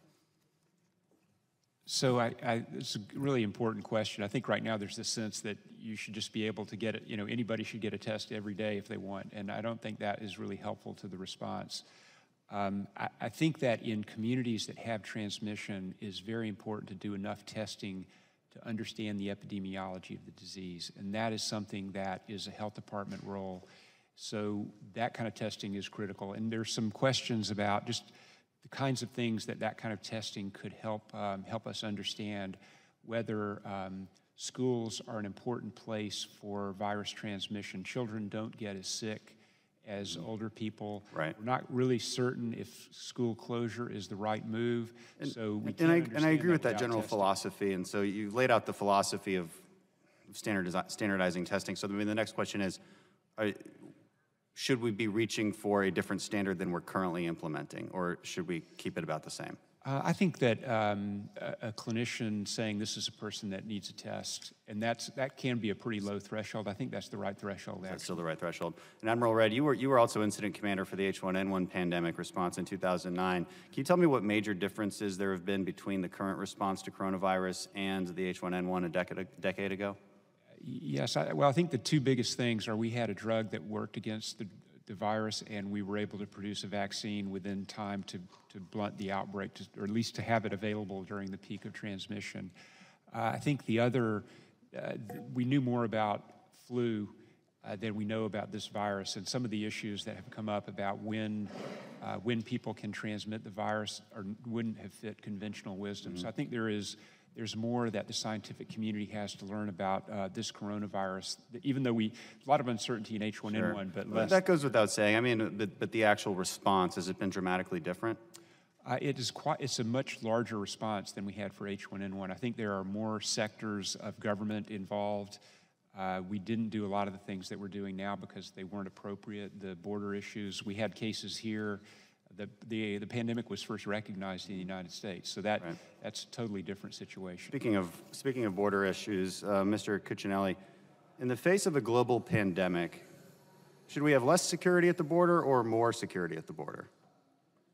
Under those circumstances, more, of course. I mean, the, the, uh, the greater your operational control of the border, the, A, the less incentive there is to attempt to pass through that. And B, um, this is just a numbers game. Um, the less chance you then have of people who may not even know Right. that they're infected. Because to Dr. Redd's comment about things that are different from H1N1, one, the biggest one for this non-medical person is asymptomatic transmission. And uh, that presents dangers that you can't even understand when they're right in front of you. And, and do things like physical barriers, additional technology, and more personnel increase our border security? Absolutely. I want to ask you both about um, our, our medical supply chain and how reliant we appear to be on China for some very basic, um, basic things like, uh, like generics, uh, antibiotics, things like that. Uh, Could you, could you both discuss the current state of our medical supply chain, specifically how the Chinese shutdown has affected it, and, and how we can get better? How can, how can we become more self-reliant um, in the face of future pandemics? It's an important question. That, that um, unfortunately, for, to be able to answer your question directly in the, in the department, that, that area is, is handled by the Assistant Secretary for Preparedness and Response. Uh, So I've been, uh, of course, part of the president's task force since January, and this has been a a focus for us. And I would note, Congressman, that if you go back and look at things like that first 212F proclamation, you'll see, uh, and how we unrolled it, you'll see that we made uh, accounting, we accounted for economic activity, not because of the money, but because of the supply chains to which you're referring, and not just medical. We, FEMA, for instance, and CISA, uh, we keep track of seven different sectors. Healthcare is just one of them, transportation, energy, others. And because of the interconnectedness of our economies and societies around the world, we thought it very important to um, keep that cargo flowing, uh, both by air and sea. And we've made accommodations to do that. I think that a lot of people's eyes, not just in Congress, but in the federal, but in the executive branch as well, have been opened to um, some of the nuances of the supply chain reliance. My understanding, and I'm not the expert, but I'm here and you want your questions answered. My understanding is that we're not in danger on any particular drugs uh, with respect to interruptions from China at the moment, not uh, in any significant way. Um, That there's substantial, I'll call them stockpiles, but they're working capital equivalent of drugs. Um, And there are substitutes that fill the needs for where we do have gaps. That's, gets us out of months and months, but it- when this is over and we all step back and ask ourselves, what did we learn here? This is definitely going to be one of the subjects we're all going to want to come back to and sit down together. And as, and as Congresswoman Slotkin noted, and as Vice President has said, we're all in this together. Well, if history's any guide, we'll be in it again together sometime in the future, so. Thank you, Madam Chairwoman. Thank you. Uh, The chair now recognizes Ms. Watson Coleman for five minutes. Thank you very much. Uh, Dr. Redd, one of the functions of the CDC is to collect information, what's happening to our uh, communities across the country. Uh, I know that the CDC is no longer depending upon the state tests to come to you to be confirmed before they can move forward with the decisions they have to make. But are you all doing anything to collect all the information so that there is a central uh, place where the information can be held, and are you disseminating it? Uh, We are collecting information from the states. The, um, the status of the tests that the states are doing, they are performing the diagnostic test. They're then actually sending the clinical specimen to CDC for, for verification. That's not what I'm asking you, because the CDC director said yesterday that you're not, we're not depending upon, uh, they're sending it to the CDC for verification now. You're going to believe what's found in the state, so what I'm told. There's this designation called presumptive test. We're encouraging them to take action on those results, yes. What, what I'm really want to know is, are you collecting the information? Uh, Is there going to be a central point of collecting the information? Because the one thing, and uh, Ms. Slotkins kind of referred to it, we don't know the extent of what is happening in our communities. And we experience an incident daily. And so it becomes a new phenomenon. And so we'd like to kind of have greater expectation than we have now, and we don't have that sense of confidence coming from the CDC or from the White House? Let me describe in a little more detail what we're doing because we are collecting the results of tests that are being done at states. The other thing that we're doing is working with our system for influenza. We're, we're testing specimens that are being collected with people that have respiratory illness in uh, Santa Clara County, San Francisco. Are you, San are you, are you also Chicago. collecting the number of presumptive cases? Are, are you collecting the data that the states are finding that X number of cases? New Jersey's got, what, I don't, I don't even know today. It's more than it was yesterday. We- we Are you are. collecting that We are. information? Okay, thank you, thank you. Um, This is a question, um, the CDC has reported the more than 600 uh, confirmed or presumptive cases. um, And so we're all concerned that everyone is given the kind of screening, testing, and whatever treatment you can get, irrespective of who you are. So this question has to do with the uh, conversation that's been developing around this immigration enforcement-free zones. And so, Mr. Cuccinelli, I guess for you more than anyone, um, I know many health experts and legal experts are saying how important it is for these people to be able to go in and be tested and not fear being um, exposed to uh, uh, immigration enforcement.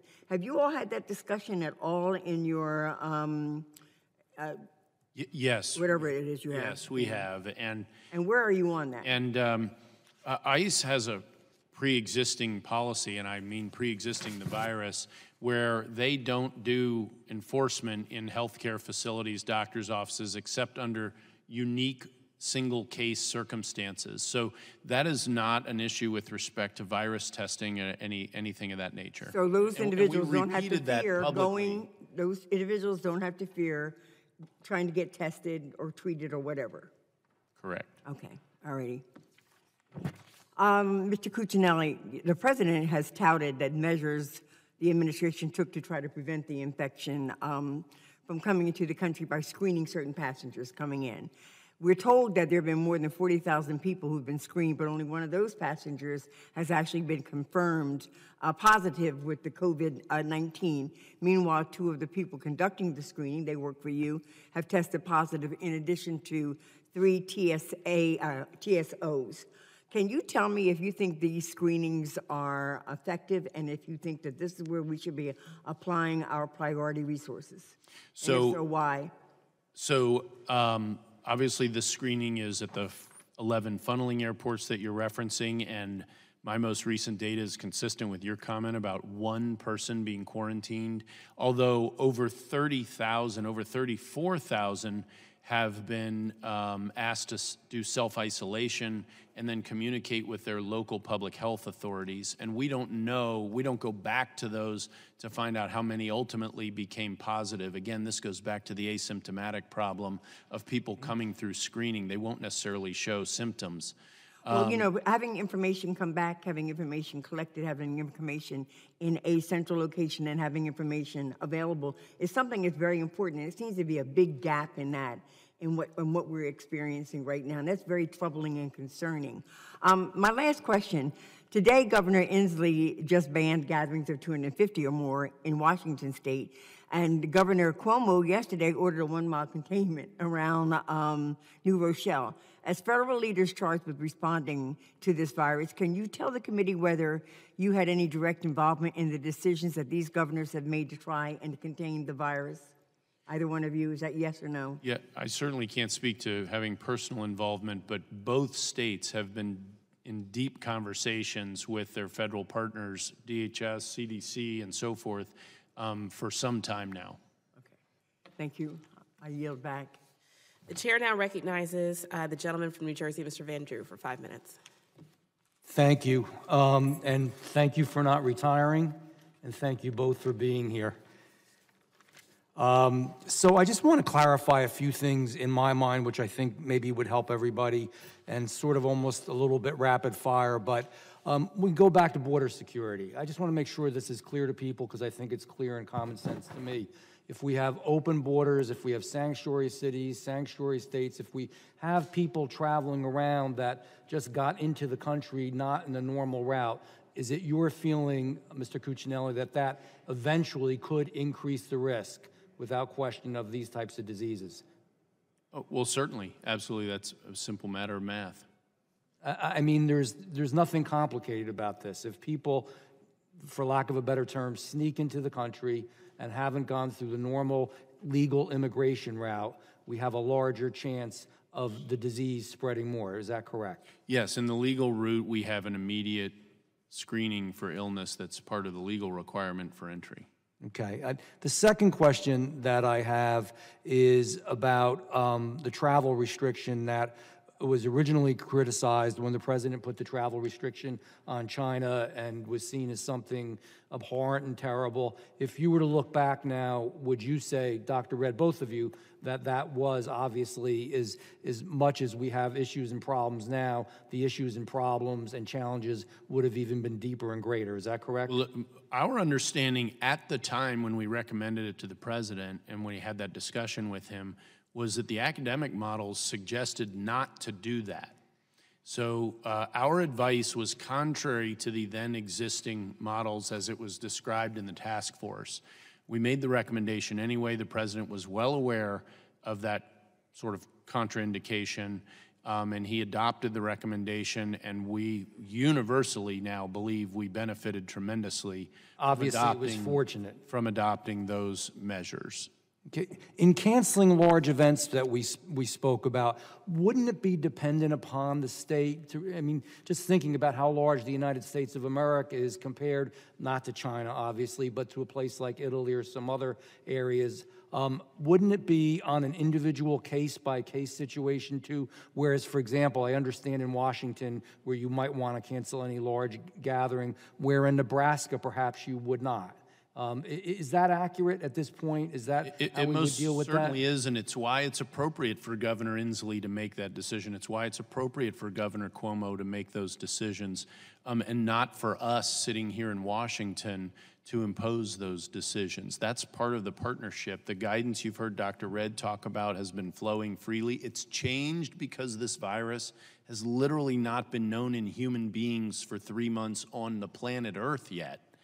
So we're still learning and we're going to be learning for months to come. But that's why those local sensitivities and letting local authorities uh, have final say is so important. Let me understand testing for a second. So, perhaps, you know, hypothetically, I don't feel well. I feel that possibly I have the coronavirus. I call my doctor, my nurse practitioner, whoever the appropriate health professional is. I say, I really don't feel good. Uh, I have the symptoms. What should I do? They are, that person right now, as of today, is going to be able to get that test if their doctor or health professional thinks that's appropriate. Is that correct? It, it is. I think there is some work to be done to make sure that they can get it as quickly and as easily as it needs to be. So I think that the test is available, but making that patient experience optimal, there's still work to be done so that it gets done same day, gets a result back quickly. There's work to be done there, even though it's available. Are, are we getting close to where it would be the same day? I think we're getting closer, but I wouldn't, I wouldn't want to give you a timeline that by X date it's going to be perfect. Um, another question too. We uh, we all understand older people are at risk, immunocompromised, they're at risk. Um, a, a thought that came to me, and I think I know the answer, but pregnant women and their unborn child that hasn't been born yet. Yeah, I think right now the evidence isn't in. There, there, the evidence that there is does not suggest that that is a group that is at particular risk, which is a little bit surprising. But that, that's the state of science Thank God. today. Yep. Um, Israeli researchers have been saying that they're months away from developing a coronavirus vaccine. Um, any thought on that? I, um, I generally go with Dr. Fauci's talking points on this. Uh, there will be a vaccine available pretty soon, but it won't be tested yet, and that's really the time-consuming thing. So I don't, I'm actually not sure what the Israelis are promising, but having a vaccine available doesn't mean that it's been shown to be safe and effective, and that is what takes a substantial amount of time. There are two cycles of, of tests that need to be done, so it's going to be a while before we have a, a vaccine that's, that's approved that we know is safe and effective. Okay. The gentleman's time's if- expired. um, Did I go over? Oh, Okay, I'm sorry. Okay, thank you. Uh, The chair now recognizes the gentlewoman from Texas, Ms. Jackson Lee. I thank the chair very much and the uh, chairman and as well the ranking member. Ask unanimous consent to place in the record the American Academy of Family Physicians letter March 11th uh, and a letter from me uh, on February 26th. Ask Without unanimous objection. consent. Let me thank both of the witnesses, and very quickly, I have little time, and Dr. Redd, let me thank you for your years of service. Can I find out the first moment uh, that uh, this country detected uh, the coronavirus was coming in this direction? It was, it was in um, late January, I believe. I can get the date for you, but it was, uh, it was, But wasn't cases arising in China in 2019? uh, we believe that there were. The, the report that they produced was right at the end of December. We think that probably the first cases were sometime in November, detected at some point after that. Uh, We think actually that So let me respect what is being done now. Let me publicly say that I believe that this nation uh, was not prepared, equating to its greatness and the responsibility it has not only to 300 million plus, but the world watches us. Uh, You are with the CDC, and we needed to be far better prepared. Uh, So uh, the first thing I want to have is, uh, as members spread out to their districts, we need an 800 number because we cannot use coronavirus.gov and anything else. As members, I've got people calling me and asking, are we closing their schools? So I'm asking both the deputy secretary, convey to this task force, set up a number for members of Congress, however you want to have a, a, a classified or, or, a, or a uh, code, give us a number to call. Can I have that conveyed and established, please? I think we can commit to getting you a number that you're going to get an answer to. I appreciate- thank you, I think- doctor. I think that the, um, um, the, the question of whether a particular school is closing or not is not something. No, no, need to be I'm just answer. saying, these are the kind of calls that are coming in. Let me move on. The level of contagiousness of the coronavirus, would you explain that very briefly, how contagious it is? Sure. The, um, the measure that is used to describe that, that characteristic of a virus is the number of additional cases that would arise from one case. It's called the R naught. And I'm sorry, I'm going to have to ask you to move quickly on that. Okay. Yeah. Um, for influenza, it's 1.5. For this virus, probably somewhere between two and three. So it's more contagious. It's more contagious. This is the kind of information that really needs to be presented to the public, not out of panic, but in terms of educating them. Let me go to the test kits. Um, you indicated that there were 75,000 um, uh, to be tested, and uh, is that test kits or test? Those are tests. I, Yes. And I agree that the, this, this uh, nomenclature of kit has been confusing. Right, so these are individual tests, 75,000. Correct. Is the 1 million individual test as well, or kits? Uh, that's people. People, so 1 million people possibility, but not yet. Um, it's been sent out. I think that the availability depends on other factors than the, the test materials itself, and that's really the logistics of. But they are going out to labs and, and local governments, or they're going to physicians and hospitals? They're, they're, these are the laboratory companies that do these tests. Right, so you have to access that. Correct. And there is a process to be tested. People need to be trained on how you use the test.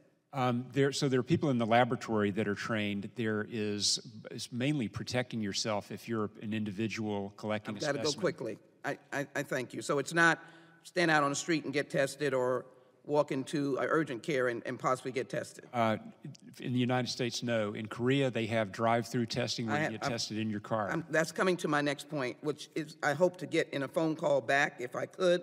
Um, low income people, poor people do not have medical providers. They are walking into urgent care, clinics, or hospitals. You have got to be able to respond, and I'm not going to take the answer right now. You've got to be able to respond to that. I do need a one on one conversation. Baylor College of Medicine, the infectious disease, has a vaccine with 20,000 vials. They don't have the resources to do the clinical tests. I want them to be connected to the task force to get those clinical tests or to get them connected for resources. They're ready to go right now. They're not Jackleg Joe or somebody down the road uh, in a lab that we can't find. I need that to happen right now. So I don't want, again, can we, uh, can I dialogue to find out how to work that out or who to connect them to? yes. I thank you. Let me ask um, my good friend here uh, in DHS. Um, we have community spread in Texas, but uh, I take issue with the non with the uh, non, the, the um, connecting flights. So our community spread came through a person who came from Italy to Frankfurt to, it, to the United States. And CBP is not prepared. Uh, you need to uh, implement some form of testing for CBP in terms of asking the question of whether or not the person has come from, a, from Italy, period. And the other point is there are three TSO officers diagnosed in San Jose. Can you just give me an answer what you're doing to ramp up preparation from those airports? If I can get that time answer, I'd expired. appreciate it on the record. Yep, so. Thank you. If, uh, and Deputy Secretary, Sorry, thank you. The three TSOs are all at one airport, San Jose Right, but International. Uh, So 46 other employees have been sent home for self-quarantine. I, I want to do TSO across the nation. I just, I don't want to, I'm just saying that they're, they are susceptible. Um, the gentlelady's time has expired, and she, she posed a number of questions. Perhaps you can submit the answers in writing, sir. Uh, the chair now recognizes Mr. Higgins for five minutes. Thank you, Madam Chairwoman. Mr. Cuccinelli, did- does your job description include advising and reporting the executive and the Department of Homeland Security based upon your mission parameters and your background, your own personal experience and knowledge? Yes, sir. And- and Dr. Redd, does your job description in- include advising the CDC and HHS regarding your background as a doctor and, and your, your specific mission requirements? It does. You- Do you gentlemen know Dr. Anthony Fauci? Yes. Would you consider him to be a, a a brilliant scientist with an incredible medical background and an expert on allergy and infectious diseases? I would.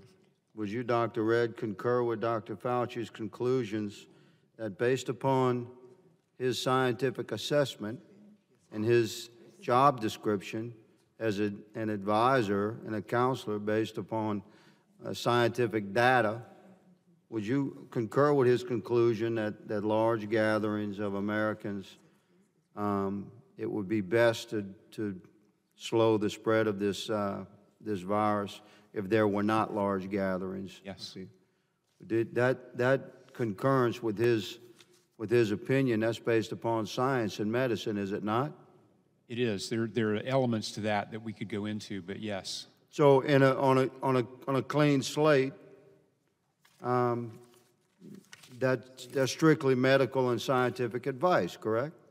And that, that's his job, your job, and Mr. Cuccinelli's job is to advise the executive. Yes, sir. Did you, you swore an oath when you took office, did you not, sir? I did. Your oath was to the Constitution, was it not? Yes, sir. It's been alarming to me to hear suggestions in this committee and others that there just seems to be suggestions that there be some federally mandated overriding authority to enforce uh, to enforce restrictions of travel of free Americans and to override the authority of sovereign states and the governors thereof to, to mandate the enforcement of restricted gatherings of free Americans. It- we are not Italy. We're not South Korea. We're certainly not Beijing. We're not Hong Kong. This is America. I have a great deal of concern that this, that this virus, and it- let's, let's talk about that for a second. There's been a lot of talk about preparedness in this committee and others. Does the CDC have stockpiles of, of millions of test kits and, and vaccines for a virus that may surface next year that we don't know what it is? No, we do not. Of course not. In fact, the, that When was COVID-19 first, first discovered when, within an American certified scientific lab and evaluated, said, yes, this is COVID-19, this is a new virus? in uh, January 2020. Thank you very much. Did we have stockpiles of prepared tests? It- These tests must be virus specific, am I correct? They are. We started producing them before we had the virus, actually. Once the sequence was produced in early. But, uh, but you had the scientific sequence. We did. So there's no way for us now to know what that sequence is for a virus that may, that may be discovered next year, is there? Correct. So other than having the infrastructure of our massive federal government, working in cooperation with international organizations and our state and local governments, and the, the, including private industry, how more prepared could a nation be for an unknown virus than we are right now. Now, surely we'll learn from this. Do you agree? I do. I- So we we'll will. be better and stronger as we move forward. Did we learn from SARS? We did. We've learned quite a bit over the last 20 years uh, in emergency responses. If I could just go back to one of your earlier Please points, I, if, if I may. Um, we work closely with state and local governments. We don't make decisions for what they should do. We're, we're really at their service, providing that kind of technical, scientific guidance that you described. So we don't make those decisions. I concur, as we should, as a federal government in a constitutionalist representative republic of sovereign states. Yes, So, sir. the, so, the, so the, the governors of our sovereign states have been instructed, inv- advised, and empowered to make decisions within their states. Is that correct? Absolutely. Would you see the role of the federal government in any other way? I wouldn't. I, you know, I think there are places where things like quarantine authority, there are state authorities, there are federal authorities, and you know, those are things we have to work out. But in general, um, at CDC, we work in the service of the state governments. Well, thank you for your service, gentlemen, both of you. Thank you for appearing before this committee today. It's just been fascinating, Madam Chairman. Thank you for holding this hearing. Uh, The chair now recognizes uh, Mr. Thompson. Uh, let me get something straight, Dr. Redd.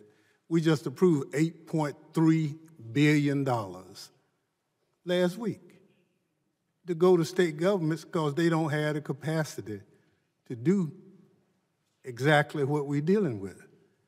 So now, are you agreeing that states ought to do their own thing and the federal government stay out? We, um, we guide, we provide advice to states. So it's, it's, um, we, we work at their service. We're providing a lot of funding through your appropriation to do the things that we all agree need to be done. Well, we're giving them a heck of a lot of money. So I don't think you can become a sovereign state and not rely on your federal government to help in times of a pandemic. Right. Well, it, I- think that we are certainly doing everything we can to support the states, but they will be the ones making these kinds of decisions. I- I'm, Uh, not Dr. following you, I think. I'm, I think there's some health decisions CDC makes independent of the states.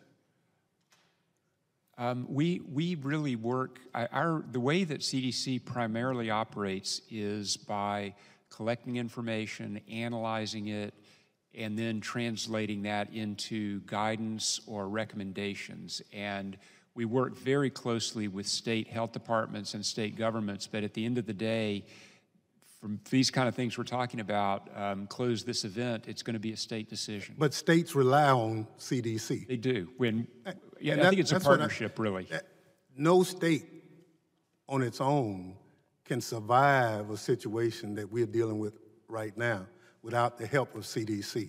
Yes, I- that would be my opinion. I w- Eh, That's, that's what I'm trying to get at.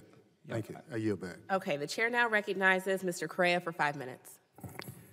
Thank you, Madam Chair, and I want to thank the chairman for holding this most important issue, and I want to welcome both of our witnesses, Dr. Redd, uh, and Mr. Cuccinelli, for being here today. Just want to say we're all on the same team, so to speak. Uh, Mr. Cuccinelli, you said earlier, you don't want to put any words in your mouth, that you didn't want to essentially get in the way of local efforts, didn't want to interfere, didn't want to step in any of those efforts. Is that correct? Something to that effect? Along the same lines that Dr. Redd was just, uh, And the reason I, I bring that up is I tried to have a town hall last Friday.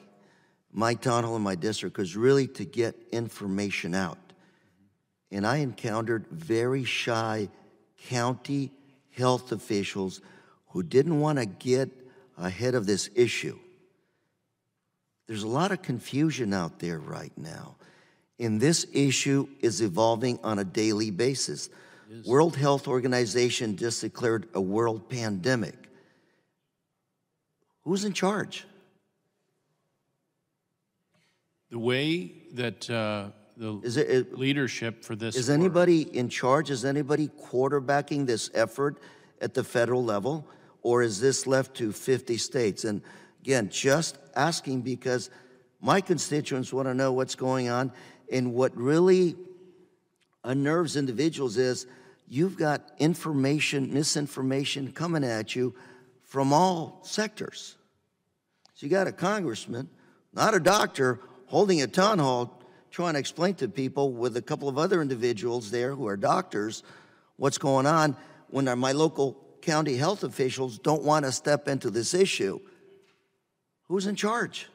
So the answer to your question, Congressman, is both, which doesn't help with the confusion side. Both what? Our authorities are, are limited and our capacity. But, but you do have a voice Absolutely. of authority based on science, we hope, Yes. to let people in this country know what the state of this nation is. It's not about states' rights, it's not about federal rights, it's about health issues and science. So among the things we've been doing, Congressman, I don't even know how many calls I've been on with literally hundreds and thousands of local health officials, legal authorities like are we- attorneys and so forth. We need to continue to them step up and really make that voice clear and concise to folks as to what we need to do. Um, very quickly, I'm going to shift over, uh, Dr. Redd. Don't want to start any rumors here, but it's my understanding that the World Health Organization created a diagnostic test early on and offered it to the United States, and that the administration essentially decided to forego using this World Health Organization uh, COVID 19 diagnostic test and instead to have CDC develop its own. Is that correct? Uh, The tests were being developed at the same time at CDC, and it's actually in Germany where the test was actually being developed. The WHO has uh, kind of a recipe for what the test, kind of the characteristics of the test. Um, well, they weren't ahead of us, it was just almost parallel in terms of our efforts? Correct. It was, Were those efforts coordinated? Um, we knew about their test, um, but in terms of uh, joint development, it was independently developed. If I would ask, why were we not coordinating? This is a world pandemic. Easy to figure that it's coming our way China, Italy, Iran. Why would we not coordinate? At that time, it was just China um, when, when we were beginning development of the test. What um, the, the issue, th- maybe gets us a later question that you would have, but when the, um, the issues with our test were identified, there was, a, there was sort of a decision to make about how to proceed in correcting that, um, that issue. The, if we had gone to the other test, we would have kind of gone back to zero with the FDA in terms of the emergency use authorization. So I'm not Lessons learned.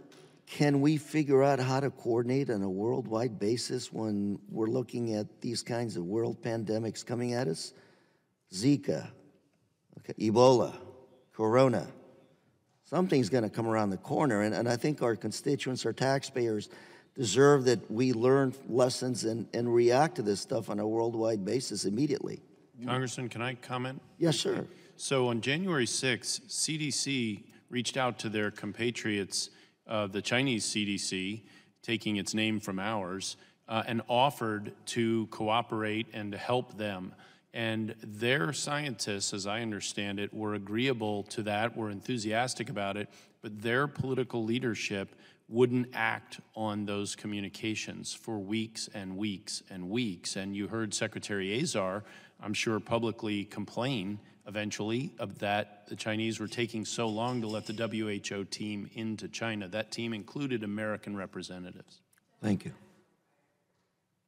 Uh, colleagues, members are reminded that votes have now been called. We are going to try to finish up the line of questioning, okay? So we're going to ask uh, members to be thoughtful as they proceed. Uh, the chair now recognizes Mr. Richmond for five minutes. Let me just follow up where my colleague left off. And we're talking about lessons learned. And Mr. Uh, Cuccinelli, you mentioned that what China wouldn't do. But isn't that what our leadership is supposed to, to do? I mean, people are not always going to just uh, volunteer and follow, but that's what we have our American leadership for, right? Well, and our leadership reached out at both the secretary and presidential level. And by secretary, I mean two secretaries, Secretary Azar and Secretary Pompeo, and the president all reached out to their counterparts in China during that time period. And my suggestion would be sometimes you don't take no for an answer. And, and that would just, especially when you're playing with something this important. But let me just, I need to just explain to my colleagues How many tests is South Korea doing a day? They are doing a, a very large number of tests each day. They've got 60 sites that are drive-through, uh, many more tests than we're doing. So, people in my district are not going to understand how South Korea are ahead of us because we're the United States of America. And it's not the time to complain about it, but we need to, we need to have that figured out. Because let's take a community like New Orleans that is high on tourism. The port is our uh, biggest industry, tourism is our second. When it comes, we're in a world of trouble, especially if we don't have the ability to test like we should. So when do, uh, when do you think we would have that ability in New Orleans to test as we So would need? the, the ability to test is increasing day by day. We've sent, we've got two systems to do tests in the United States. We have the public health system. There are 75,000 uh, tests out there uh, in that system now. There are over a million tests in the commercial sector, with that number increasing almost daily. Um, the place where we have work to do is making sure that when a patient a doctor decides a patient needs a test, they can get it that day and can get results back quickly.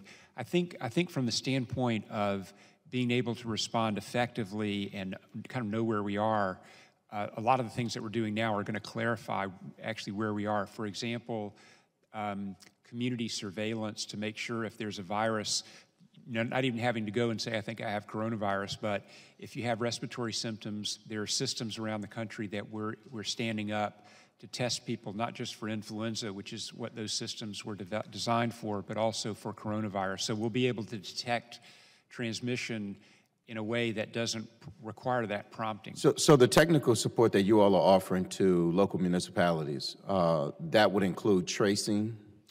Um, I, you know, it depends on where we are in the in the epidemic. Uh, that the contact tracing is can, is a really important measure when you want to extinguish transmission, and that was what we have been doing in the early parts of the epidemic.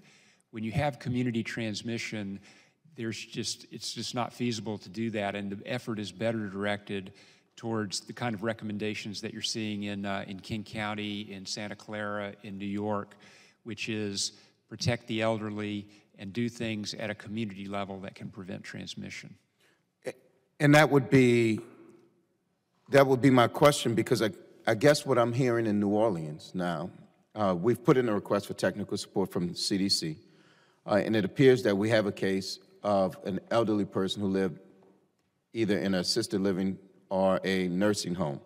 So we're going to need all the help we can get, and we're going to need it real quick. Are you all prepared to assist in an event like that? So I think that the as there are more uh, nursing, I think what we need to do is to protect nursing oh, homes. let- let's- I, I can't promise you that we're going to send a team to New Orleans, but we are definitely going to help the health department to, in every way that we can.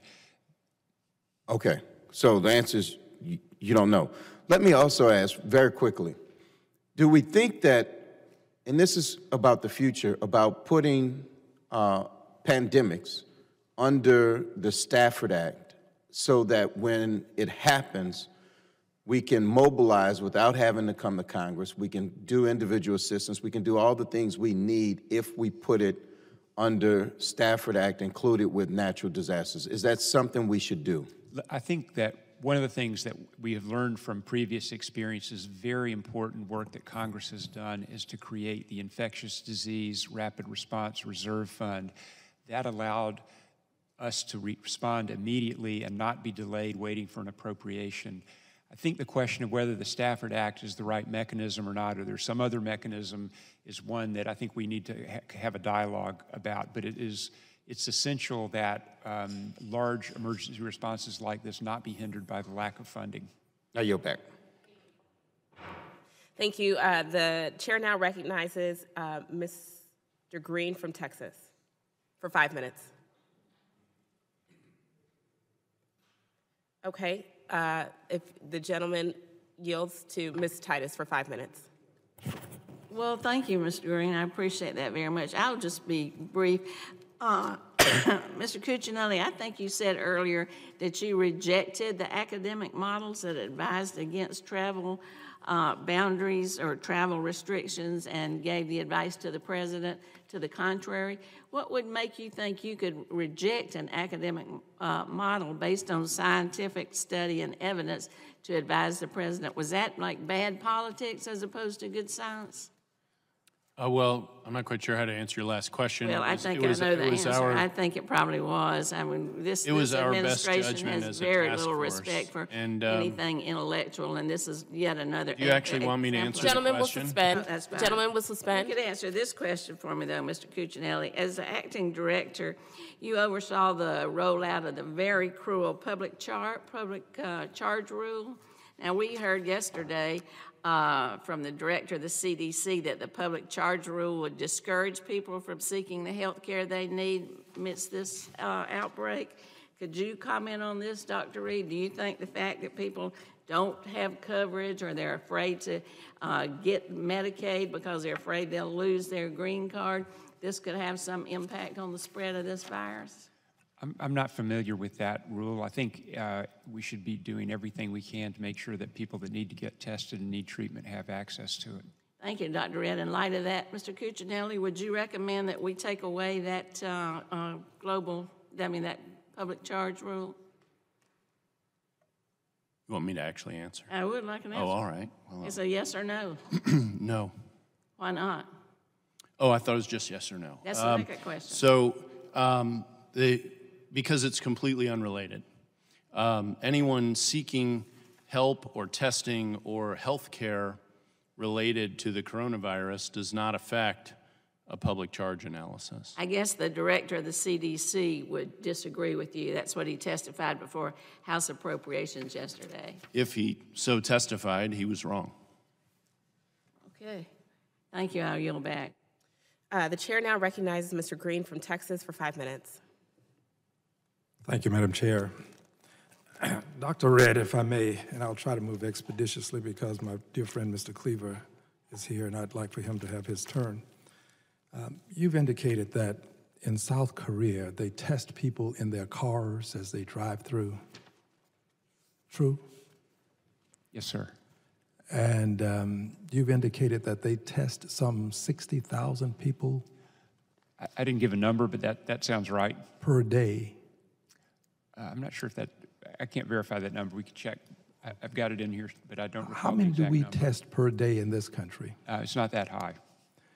Is it 40,000? So we've, at CDC, we have Is tested 30,000? 1,700 people, 1,784. State health departments Is have it tested. 20,000? I'm sorry? Is it 20,000 per day? It's not 20,000 a day. Is it it's on the 10,000 order per of, day?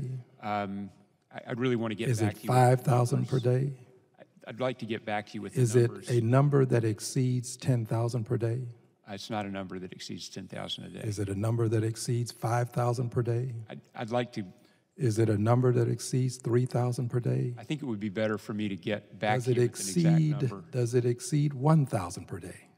Um, I- As as I said before, it'd be better if I got back to you with the correct number. Is it true that there is a way to test thousands of people per day?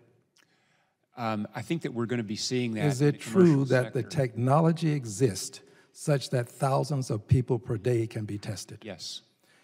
And is it true that if this technology exists, that uh, the United States of America, greatest, richest country in the world, can employ this technology? I think that we will be doing that in the commercial Can- sector. Is it true that the United States of America, regardless of setting, can deploy this technology? It certainly is possible. And in the United States of America, is it not true that we can put a person on the moon? We have. As we have. So is it fair to say that if they're doing it in South Korea, that we can, maybe we could ask them how to do it? We're in discussions with them about their response. I, I, one, maybe two points to make. I think that at the end of the day, Is it, is it also our- true that if we had 1 million people tested, that we would not be able to ascertain the results Um, within any reasonable amount of time because we don't have the methodology, the means by which we can examine the test and do it in an efficacious way such that we can give results with some degree of immediacy? Is this true? Well, it's one of the things that we're working on. Is it true that do. if we had a million people tested, we would not be able to get the results back I think it- immediately? I think that the answer to your question. Is it true that it would take longer than a week to do that, to get the results back? I'm sorry, I'm, I'm trying to answer your I don't understand it. I'm trying to ask a question. Is it true that it would take longer than two weeks to get the results back? I think that there is a. It's there- true that it would take longer than three weeks? Um, I think the systems exist now to get results back to patients more quickly, particularly. If we had a million people tested, we're talking about a million. How long? Well, people get blood tests every day, and there are more than a million people, and they get their results back uh, the same But day. I'm asking you about current circumstances. Um, Current circumstances. As, as we sit here, waiting for this answer so that we can vote, how long? I think what we could get back to you with is for the lab, the companies that The truth is, there is a, basis. there is a way to do this testing. It appears to me that we don't have the will. We don't have the will to move expeditiously, to acquire the technology if we don't have it. We can do this. This, this country has the ability to get great things done in short order. We, for whatever reason, don't have the will. And the public becomes highly suspect when we don't exercise the will. Where you have few facts, you have much speculation. The speculation is going to run rampant because we don't exhibit the will to do that which can be done. I, I respectfully disagree with I you. would expect you to respectfully disagree, but I respectfully disagree with your disagreement, and I yield back the balance of my time. The chair now recognizes Mr. Cleaver for five minutes. Thank you, Madam Chair. I won't uh, use five minutes. Uh, Admiral, uh, th- thank you. Um, I, I'm, um, I mean, this is, I guess, a little personal, but it, it, it probably has uh, some applicability for, to uh, the entire country. Um, uh, I, I'm, my, my father is 97. He won't take the flu shot uh, because um, he thinks it'll make him get the flu. And and by the way, uh, my grandmother said that messing around with the moon messed up the, the weather and the flowers. Uh, so if we went up there, we made some mistakes while we were on the moon. But let me get back to my dad, because he's healthy as far as we know, 97 years old. Um, but uh, he's already suspicious of things. And then um, we're told that uh, your shop wanted to advise elderly Amer- uh, Americans, uh, you know, not to do certain things because 97 years old or whatever, your immune system is vulnerable, um, and that it was overruled. Uh, I'm concerned about people out here who, are, who, who may be sick, and they're already, older people, already suspicious, and then uh, they can't get accurate information about their immune system and, and the vulnerability to this uh, galloping uh, virus. Um, you know, we're, we're probably going home tomorrow. We got to deal with, I do, I'm a, in my real life, I'm a, a Methodist pastor. I'm, I'm going to deal with people this weekend wanting to know what's, what, what's going on. Uh, you know, the White House says, you know, it's okay. You don't need to worry about, CDC said, if you're older, an older person, don't get on planes and so forth. What, what, uh, Mr. Cuccinelli, somebody can, would like, one of you like to come speak to the church? Uh, or call my father. I, I think the question of um, distrust of um, authorities and, for example, with the influenza vaccination is a really difficult problem. And I think it really gets back to the question of trust that we've talked about to some extent today. And I'm not blaming you. I'm just, I, I just want to know how did we get into this mess? Because it's, I think it's going to, it could, it, well- we could cause some people to. I think your son is going to believe you more than he's going to believe us. So I would, I would, I would recommend that you give him the advice that's on the CDC website, um, and and do your best to encourage him to to stay protected. And that, but what about uh, uh, flying? Uh, What about elderly people flying? I think that that is, uh, for a- a 90-year-old person today, I would not recommend flying. Well, why would, why, why would it be overruled? I mean, I don't, maybe I'm not articulate enough, but Well, I actually, in the guidance that we have, it's, we do recommend that for, I know, but um, my, my, I hate to cut you off, but, but earlier we would, um, the, the, the, the, the uh, White House said, don't make that information available. And that's all I want to know is why. N- No, sir. Uh, There has not been a point where we've said, or anyone at the White House has said, don't make X information available. Okay, well, these, these news reports are, I guess. I think maybe there's an interpretation of um, um, uh, closed space with limited air circulation, and that, you know, there, there are ways to interpret that. Okay, uh, I don't have, I don't have time. Um, There are news reports that, that's, uh, that's, uh, I don't have time to do this in here right now.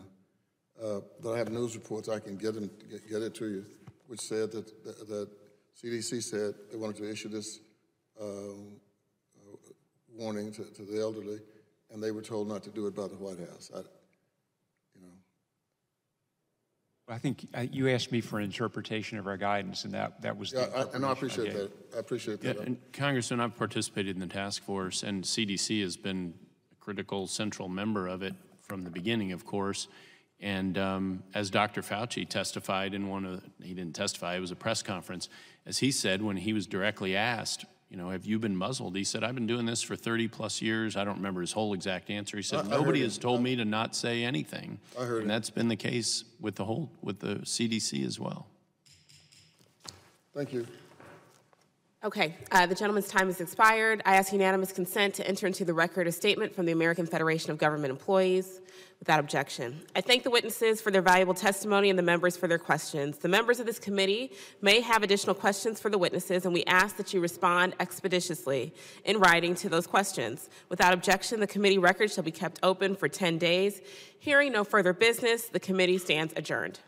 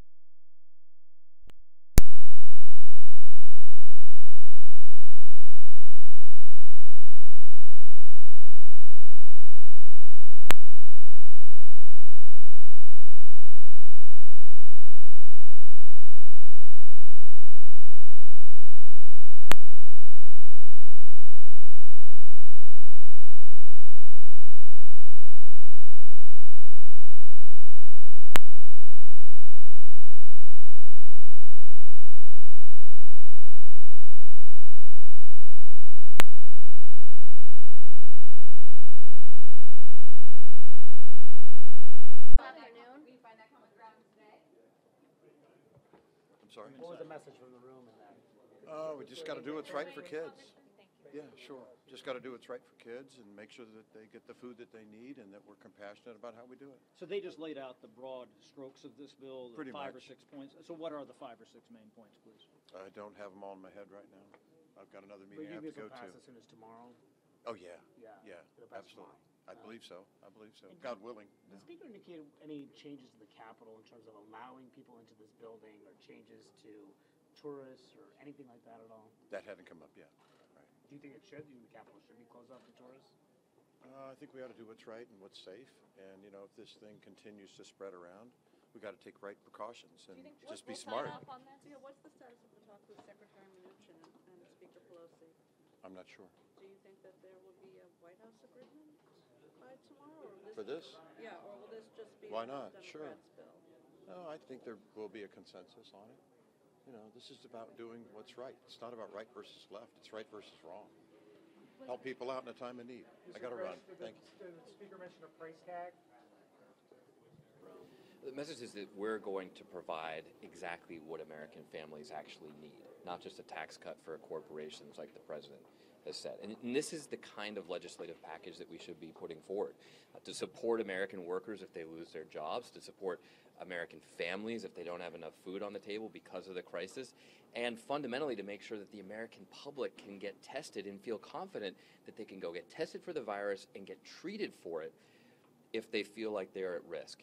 That's what we need to do to contain both the health and the economic effects of this crisis. The, the president seems to think that Americans have all their livelihoods in the stock market. Most Americans have their livelihoods in their jobs. Ironically, what the president's doing isn't even helping the stock market because he, the way he's underplaying, downplaying this crisis is just creating uncertainty. How much is this bill going to cost? I don't know exactly yet, but it's an investment that we need to make. Uh, that's the kind of proactive investment that we may need to make in times of crisis to get through it and uh, return as quickly as we can to life and to business as usual. Do you think that the White House, do you think that the White House is going to be able to come to the same consensus that Congress is on this package? Well, I'd like to think so because this is fundamentally what the American people need and it's fundamentally what the American economy needs. So do you know how those talks with um, Secretary Mnuchin and Speaker Pelosi have gone? Did they talk about that at all? They haven't talked about it yet. I'm not sure if uh, if they will, but um, but look, I feel confident that this is the kind of proposal that should get bipartisan support because it goes right to American families. It doesn't just go to the corporate interests that seem to be what the president wants to Do support. you expect the Senate to sign on to this? We certainly should. I mean, I think it's a little bit too early. I mean, this has just been presented to us, right? So it's a little bit too early to, to say. Uh, but but I can tell you that walking out of the, this room, I, I have a lot of confidence in the package that we're putting putting forward. of what they presented will be Well, you know, r- right now what they're doing is going through all the different, you know, for example, Collin Peterson's talking about the ag components, and uh, we talked about the SNAP components and, and whatnot. Uh, we're going to get a full rundown of all the details. Do you, um, do you think the Capitol should be closed to tourists going forward? Look, personally, I think that that would uh, be smart for the time being. Uh, my office has released a, uh three-level protocol that we follow uh, internally. Uh, we've gone from level one to level two this week, uh, which means that we are uh, only having half the staff come into the office. We're taking precautions to work from home, and uh, we're prepared to do that just to limit the, the chances of transmission. You know, ultimately, this is going to continue to spread. What we need to do is slow the rate of spread so that so that the virus, so that everybody doesn't get infected all at once and overwhelm the, the healthcare system.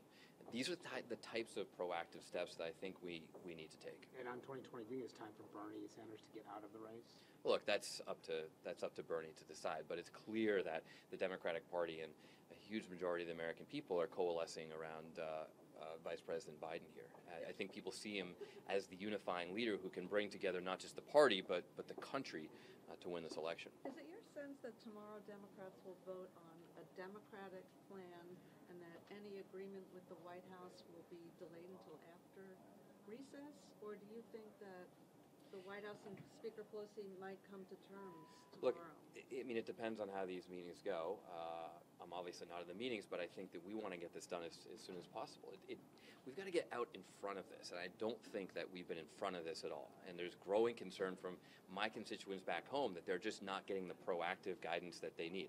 I- I'm getting on the line in an hour with all the local leaders in my district to just talk about the protocol that we're following uh, in the office as an example for small businesses, schools, and other institutions uh, at home in Massachusetts. But is it the plan to vote on this right away, whether or not the White House signs on? I, d- I don't know. If the Senate comes back with changes, do you think the House might have to come back from recess early? Uh, I'm not sure, but um, you know, if that's what we need to do, we'll certainly do it to serve the American people. But I do think that we, we should ex- we should look at what the protocols will be for just business as normal on Capitol Hill in the event of this, uh, you know, as this virus continues to spread. Because if you think about it, there's an awful lot of people all on top of each other. Uh, you know, I hope no one here has it because this is very close quarters. This is the sort of norm for business on Capitol Hill, and I'm not sure that's a smart way to continue doing business, you know, for the next few weeks while um, the, the virus continues to spread. think a recess should be? Oh, oh, I don't know. I, I don't know. I mean, that, that, that's the kind of decision that should be made by doctors and scientists based on how this virus expands. The problem, of course, right now is that the administration has not provided the testing resources to really even know. So we've heard, uh, uh, you know, we reached a thousand cases today that are confirmed. I think most epidemiologists in the United States that I've talked with at least think that the real number is well over 10,000 right now. It's clearly out in the community, and we need to be better prepared and out ahead of it. This is something that we can beat. You know, we have the best healthcare system in the world here in America, but we've got to be prepared and we've got to give people the confidence that, that we know what we're doing. I don't think folks are getting that from the administration, but uh, increasingly, I think you'll see Democrats in Congress stepping up to provide it. Thanks. Thank you. Thank you, sir. Appreciate it. top priority is to make sure every person who is sick has access to testing, including undocumented immigrants who we are afraid, uh, because of this administration, uh, may not want to come forward and get tested out of fear of being uh, deported. Uh, and because of some of the public charge rules that are out there, we want to make sure that those barriers are not in the way. Also, making sure that first responders have all the protective gear that they need as they, you know, respond to individuals, particularly at nursing homes, who need help. Also, having independent testing sites, so it's not only at a hospital where people are already sick, maybe from something else, but we have independent sites uh, for people to get tested. And then thinking about how this virus affects everyday lives. So if you lose your hours uh, because of uh, being sick, you know, getting reimbursed. Uh, if you are unemployed because of, uh, you know, related to the coronavirus, having unemployment insurance. If you're not able to get the food that you need uh, because you're getting food through SNAP, uh, that we're getting rid of uh, issues around that. So those are some of the priorities uh, we're discussing, uh, recognizing that it's not just, you know, a matter of uh, health, but it's also a matter uh, of just livelihood. Do you think that the Yeah, Capitol sorry. should close to tourists? I'm gonna leave it to the speaker. She said that she's listening to the experts uh, on that. I'll tell you, in our office, we're kind of all doing the Washington elbow uh, as people come in uh, and asking people if they have respiratory uh, illnesses, constantly wiping down uh, the office. But you know, I, I, I am concerned that uh, if we don't take precautions like that, uh, you could see further spread. But you know, the speaker, she's very science-driven and uh, has relayed to us that she's in touch with health experts uh, constantly about you know the state of the capital. She just, Any she just, indication of her talks with the, the, Mr. Mnuchin? Uh, Do you no. know how those are I didn't hear anything about that. Do No. you have- What- On the- sorry. Did you have a follow-up, Mom? I just want to know if she said that just now in there, or was it prior? Her posture hasn't changed from how I understand it. Sorry. And on the topic of undocumented immigrants, does that affect potentially sanctuary cities where there are more of these people that are afraid to go get, um, go seek medical attention? Uh, yes, absolutely. Uh, we're particularly worried about sanctuary cities where people are, you know, being targeted by the administration, where they're threatening to pull resources. You know, our belief is that you know everyone who feels any of these symptoms of respiratory illness, fever, uh, cough, uh, should go uh, and get tested and have a test available regardless of your immigration uh, status, and it should be free. We, we don't want you know people worried about you know their ability to pay or their immigration status. So that's those are kind of the top of mind priorities right now. Sorry, you had a question. Um, did you guys discuss at all how much this bill is going to cost? Um, I, I know they're working on that before they send it to rules, and they told us that you know they're going to sort that out before it goes there tonight. So, all right, thanks, Thank guys. you so much, Yeah. sir. and not negotiations, but they've, de- uh, they've designed a wonderful package to s- protect families in this Is country. Trump going to sign off on that? I have no idea. How much is this going to cost? I have no idea because they're working on that and on the pay-fors now. Do you know when you'll see text? Pardon? Do you know when you'll see text of this package? Uh, pretty soon, because it has to come to rules, and I'm on rules, so we're expected to vote on it tomorrow. When, when uh, do you think the Capitol should be closed off to tourists going forward? I, you know, that's a public health decision. If, if large institutions are closing things off, you know, it's a, I think they're, uh, they're thinking through those decisions now, and I don't want to second guess the leadership. And so just to be clear, will it come to rules tomorrow It has to come to, tonight? uh, may come tonight, I don't know. I don't know yet, because they're finalizing the package.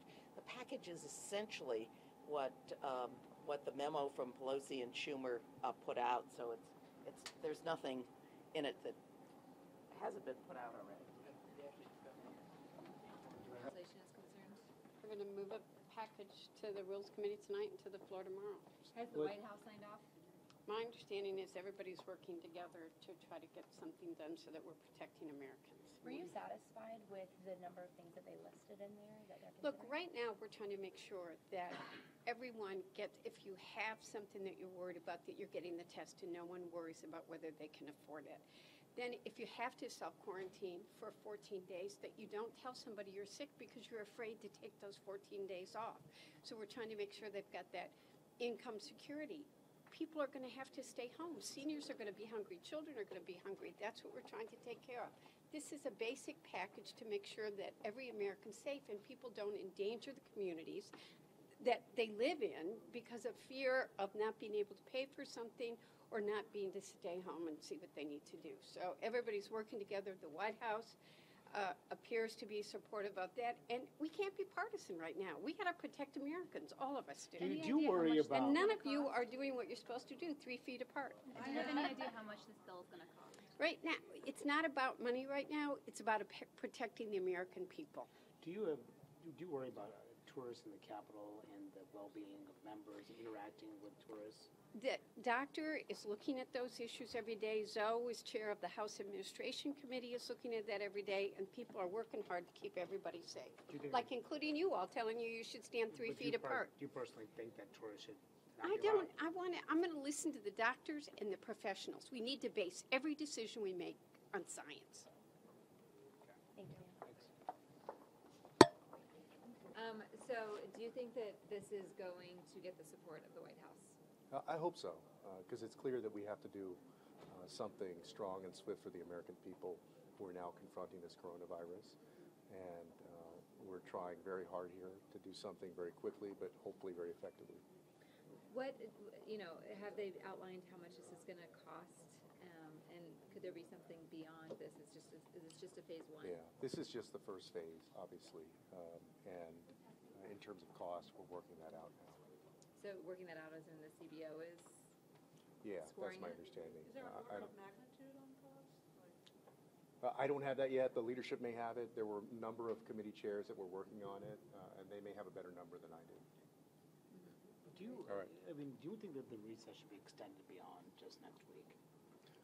You know, that's a call for the speaker. Um, y- y- Obviously, the advice has been to avoid, for anybody, including members of Congress, to avoid large crowds. Uh, So that's a decision that I think she's going to have to make as we get closer to the end of the recess. Uh, All indications are that things are going to get worse before they get better. So it wouldn't surprise me if we're out an extra week or so, Um, but I think she's probably going to wait a few days to make that decision. All right, y'all, I'm going to go vote. Thank you. Ahead, The, the, the White- the White House was informed that we're going to go to rules tonight, we're going to the floor tomorrow, and uh, moving ahead with our Do you think the president's going to talk about it in his address tonight? I would hope so, that he would support it.